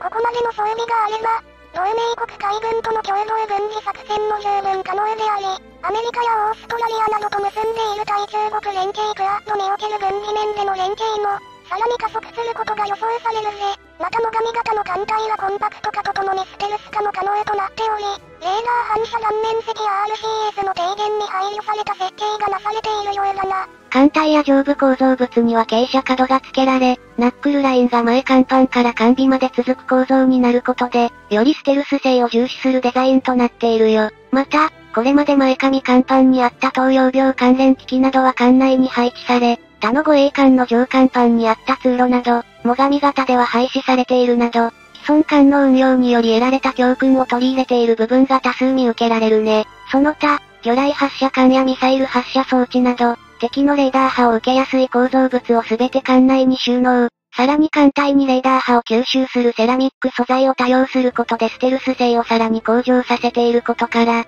今後のステルス化階層を待たずども、すでにステルス護衛艦とも呼んでも差し支えないほどのスペックを有しているんだ。また、昨今の海上自衛隊における人員不足を受け、最上型では精進化が図られていて、その乗務員数は定員約90名うち女性自衛官10名となっており、同じ基準排水量である朝霧型が定員約220名であることから、その半分以下で護衛艦を運用できるというハイスペックな性能を有しているよ。これだけ性能アップを果たしているにもかかわらず、建造費は朝日方の3分の2、1隻あたり450億円程度であり、省人化と小コスト化を実現する護衛艦として今後も建造が進められていくことになるだろうね。そして防衛省では、最上型の運用にはクルー製の導入を予定しているみたい。クルー製は、海上保安庁でもすでに導入している制度ですが、乗組員を個別の護衛艦に固定せずに、複数のグループに分けグループごと艦を乗り換えるシステムとなっていて、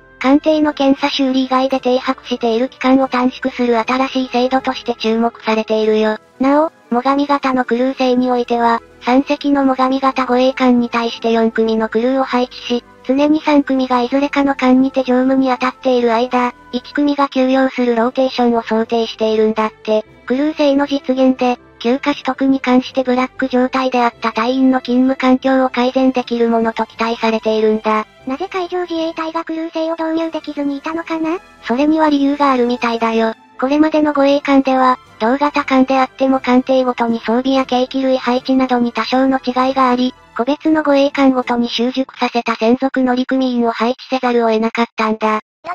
が、最上形では全ての同型艦が全く同じ性能と装備で量産される護衛艦となったため、クルー制でも運用可能へと判断されたってわけだな。防衛省としては、護衛艦の稼働率を高めることで、同時期に導入する哨戒艦との連携を図り、兵器の警戒監視運用を強化することを目指しているぜ。これら、尖閣諸島などにイスラル中国公船への対応で多防を極めている海上保安庁の巡視艇へのサポートや、さらなる警告活動において護衛艦が直接乗り出すことを想定するなど、従来の護衛艦任務とは一線を画す運用を想定しているとされているんだよな。ちなみに最上型護衛艦がこれまでに3番艦までが浸水命名されていて、1番艦の神、2番艦熊野、3番艦の城と、日本国内の河川名が名付けられているぜ。これらの河川名はいずれも、帝国海軍においての従順洋艦の神熊野の城として使用された名でもあり、4番艦も含めて、今後建造が計画されている SSM にも河川の名称が与えられると予想されているな。海上自衛隊の艦艇の大半は、帝国海軍の艦船名のオマージュとも言えるけど、今後登場するヘリ空母が伊勢ヒューガであったように、今後もオマージュの傾向は続いていくことだろうね。それじゃあ今回はこの辺で、よかったら、チャンネル登録してね。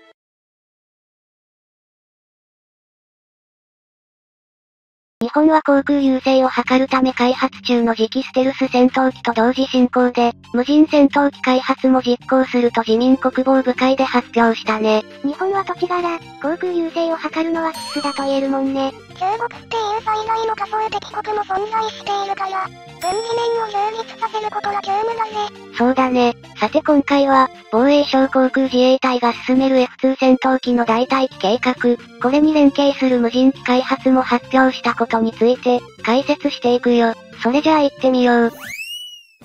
この無人戦闘機の最高スピード 10G という驚異的な異次元の速さを聞いて驚愕を隠せなかったよ。日本でも無人戦闘機技術が開発され、こんな技術があったというのを世間であまり知られていないんだ。それもそのはず。与党自民党の国防部会安全保障調査会合同会議の席上で、防衛省ら2035年をめどに現在の F2 戦闘機の代替機と連動する無人航空機の開発を行うことを発表。ちなみに F2 は F1 の後継として開発された航空自衛隊の戦闘機であるのだけど、1995年に初飛行を行い、2000年から部隊配備を開始しているよ。公式ではないけど、軍事関係者や航空機ファンからは平成の冷戦や、ビーパーゼロなどという愛称で呼ばれているね。この航空自衛隊が運用することになる無人航空機の開発に関しては、2022年度防衛予算に初期費用を計上して本格化される見込みとされ、これと並行して運用方針や仮想敵国の状況等も鑑みての開発方針が決定するよ。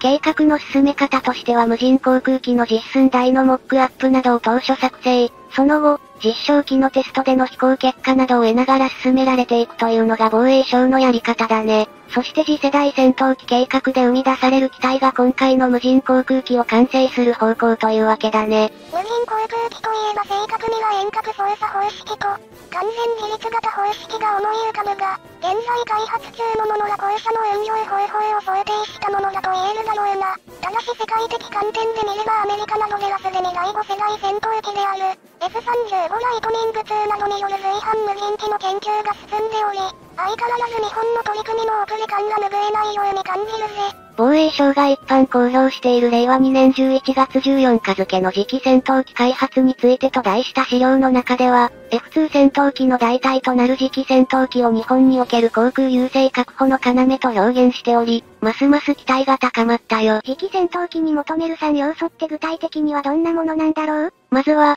並走面も含めた高ステルス性、次に質で量に対抗する大容量高度な友軍間の情報連携、そして高機能なレーダーセンサ類だね。この表示3つの具現化を打ち出しているってところだな。本題とは少し脱線してしまうけど、同資料の中で西側各国の、現在の戦闘機の開発機体単価等が算出する基準によって変化するため、一概に算出は困難としながらも一応の目安として提示されていることも分かったよ。その資料によると、第4世代戦闘機である現行の F2 戦闘機の開発費が3600億円単価112億円で、同様にユーロファイタータイフーンの開発費が2.3兆円単価113億円と記載されているね。そして第6世代戦闘機である F22 ラプターの開発費は2.3兆円単価210億円であり、同様に F35 ライトニング2の開発費は6.1兆円単価110億円だと指摘されており、F35 ライトニング2の高騰が目についてしまい野党からの反対意見が出るのも納得がいくというものだよ。すでに次期戦闘機の開発には約5兆円が必要と予算要求をしているが、メディア等の報道により国民に拡散してしまい、日本で最大90期前後の生産数で終了する同定の大きな懸念材料にもなっているぜ。防衛省側も国民の批判へ対策をするため、今回三菱重工業を主契約者とする集約化、V によって海外からの調達を検討するなど、アメリカやイギリス企業との協調を否定しない態度を示しているね。具体的な業務提携先として名前が挙がっているアメリカのロッキード・マーチン社や、イギリスの BAE システムズ社などとの協調がここからも伺えるけど、日本は自国での主導を諦めないという強い姿勢を示しているよ。さらに次期戦闘機開発についての資料では当然無人機に言及した記述もあり、技術的な人工知能の進化と操縦者等の人的損耗防止の観点から見ても、その開発は世界的にもベーシックな傾向であると指摘しているんだ。ただし、これによって得られる人的総力化に関しては、2030年代における即時的な戦闘機の搭乗者不足の意味をなさないと言われており、郵便戦闘搭乗者の確保にすぐに問題が発生する事態になるとは直結しないぜ。しかも定型的な運用で対応が可能と見込まれる偵察や、空対地攻撃といった分野では無人機の導入は比較的簡単と想像しつつ、飛来する敵機に対する即応性は有人機に劣ると指摘されていることが分かったな。この事柄を踏まえて防衛省では、有人戦闘機に随伴しその任務を支援する遠隔操作型の無人航空機の開発を行うと明記し直して、令和3年度の概算要求からその開発予算を計上したんだ。その一方で軍事最先端のアメリカはスカイボーグ計画として、有人戦闘機と安価な無人機との連携を4社で研究しており、これに向けて複数の無人機製造企業と試作機の製造に着手しており、映画のような未来戦争でも起こすのかと疑ってしまうね。4社ってどこなの？この4社とはボーイング社、ゼネラルアトミックス社、ノースロップグラマン社、クラトス社のことであり、さらにこれに加えてイギリスの BAE システムズ社の参加も記述されており、また無人の大量破壊兵器が作られていくだろうね。有名どころが一堂に会しているね。これらの中ではクラトス社の X958A バルキリーや、ボーイング社がオーストラリアと共同開発しているロイヤルウィングマンが最も有名だけど、両機とも自立飛行型の無人戦闘機であり人工知能を有しているんだ。人工知能を搭載しているの？なんだか一気に SF っぽくなってきたなしかも本体1機で約2から3億円の値段となっているから、100億以上する有人戦闘機と比較すると確実に安価で購入できるってわけ。当然パイロットの人件費も減らすことができるので各国の導入は増えていくばかりだと思われるよ。防衛省の次期戦闘機開発についての資料で飛来する敵機への即応性に疑問を投げかけられていた無人戦闘機であるわけだが、これらの続報に日本がどのように反応するのかにも注目していきたいね。それじゃあ今回はこの辺で、よかったら、チャンネル登録してね。いつも見てくれてありがとう。ありがとう。Thank you. かたじけない。ありがとう。Thank you. かたじけない。ありがとう。Thank you. かたじけない。ありがとう。Thank you. かたじけない。ありがとう。Thank you. かたじけない。ありがとう。Thank you. かたじけない。ありがとう。Thank you. かたじけない。ありがとう。Thank you. かたじけない。ありがとう。Thank you. かたじけない。ありがとう。Thank you. かたじけない。ありがとう。Thank you. かたじけない。ありがとう。Thank you. かたじけない。ありがとう。Thank you. かたじけない。ありがとう。Thank you. かたじけない。ありがとう。Thank you. かたじけない。ありがとう。Thank you. かたじけない。ありがとう。Thank you. かたじけない。ありがとう。Thank you. かたじけない。ありがとう。Thank you. かたじけない。ありがとう。Thank you. かたじけない。ありがとう。Thank you. かたじけない。ありがとう。Thank you. かたじけない。ありがとう。Thank you. かたじけない。ありがとう。Thank you. かたじけない。ありがとう。Thank you. かたじけない。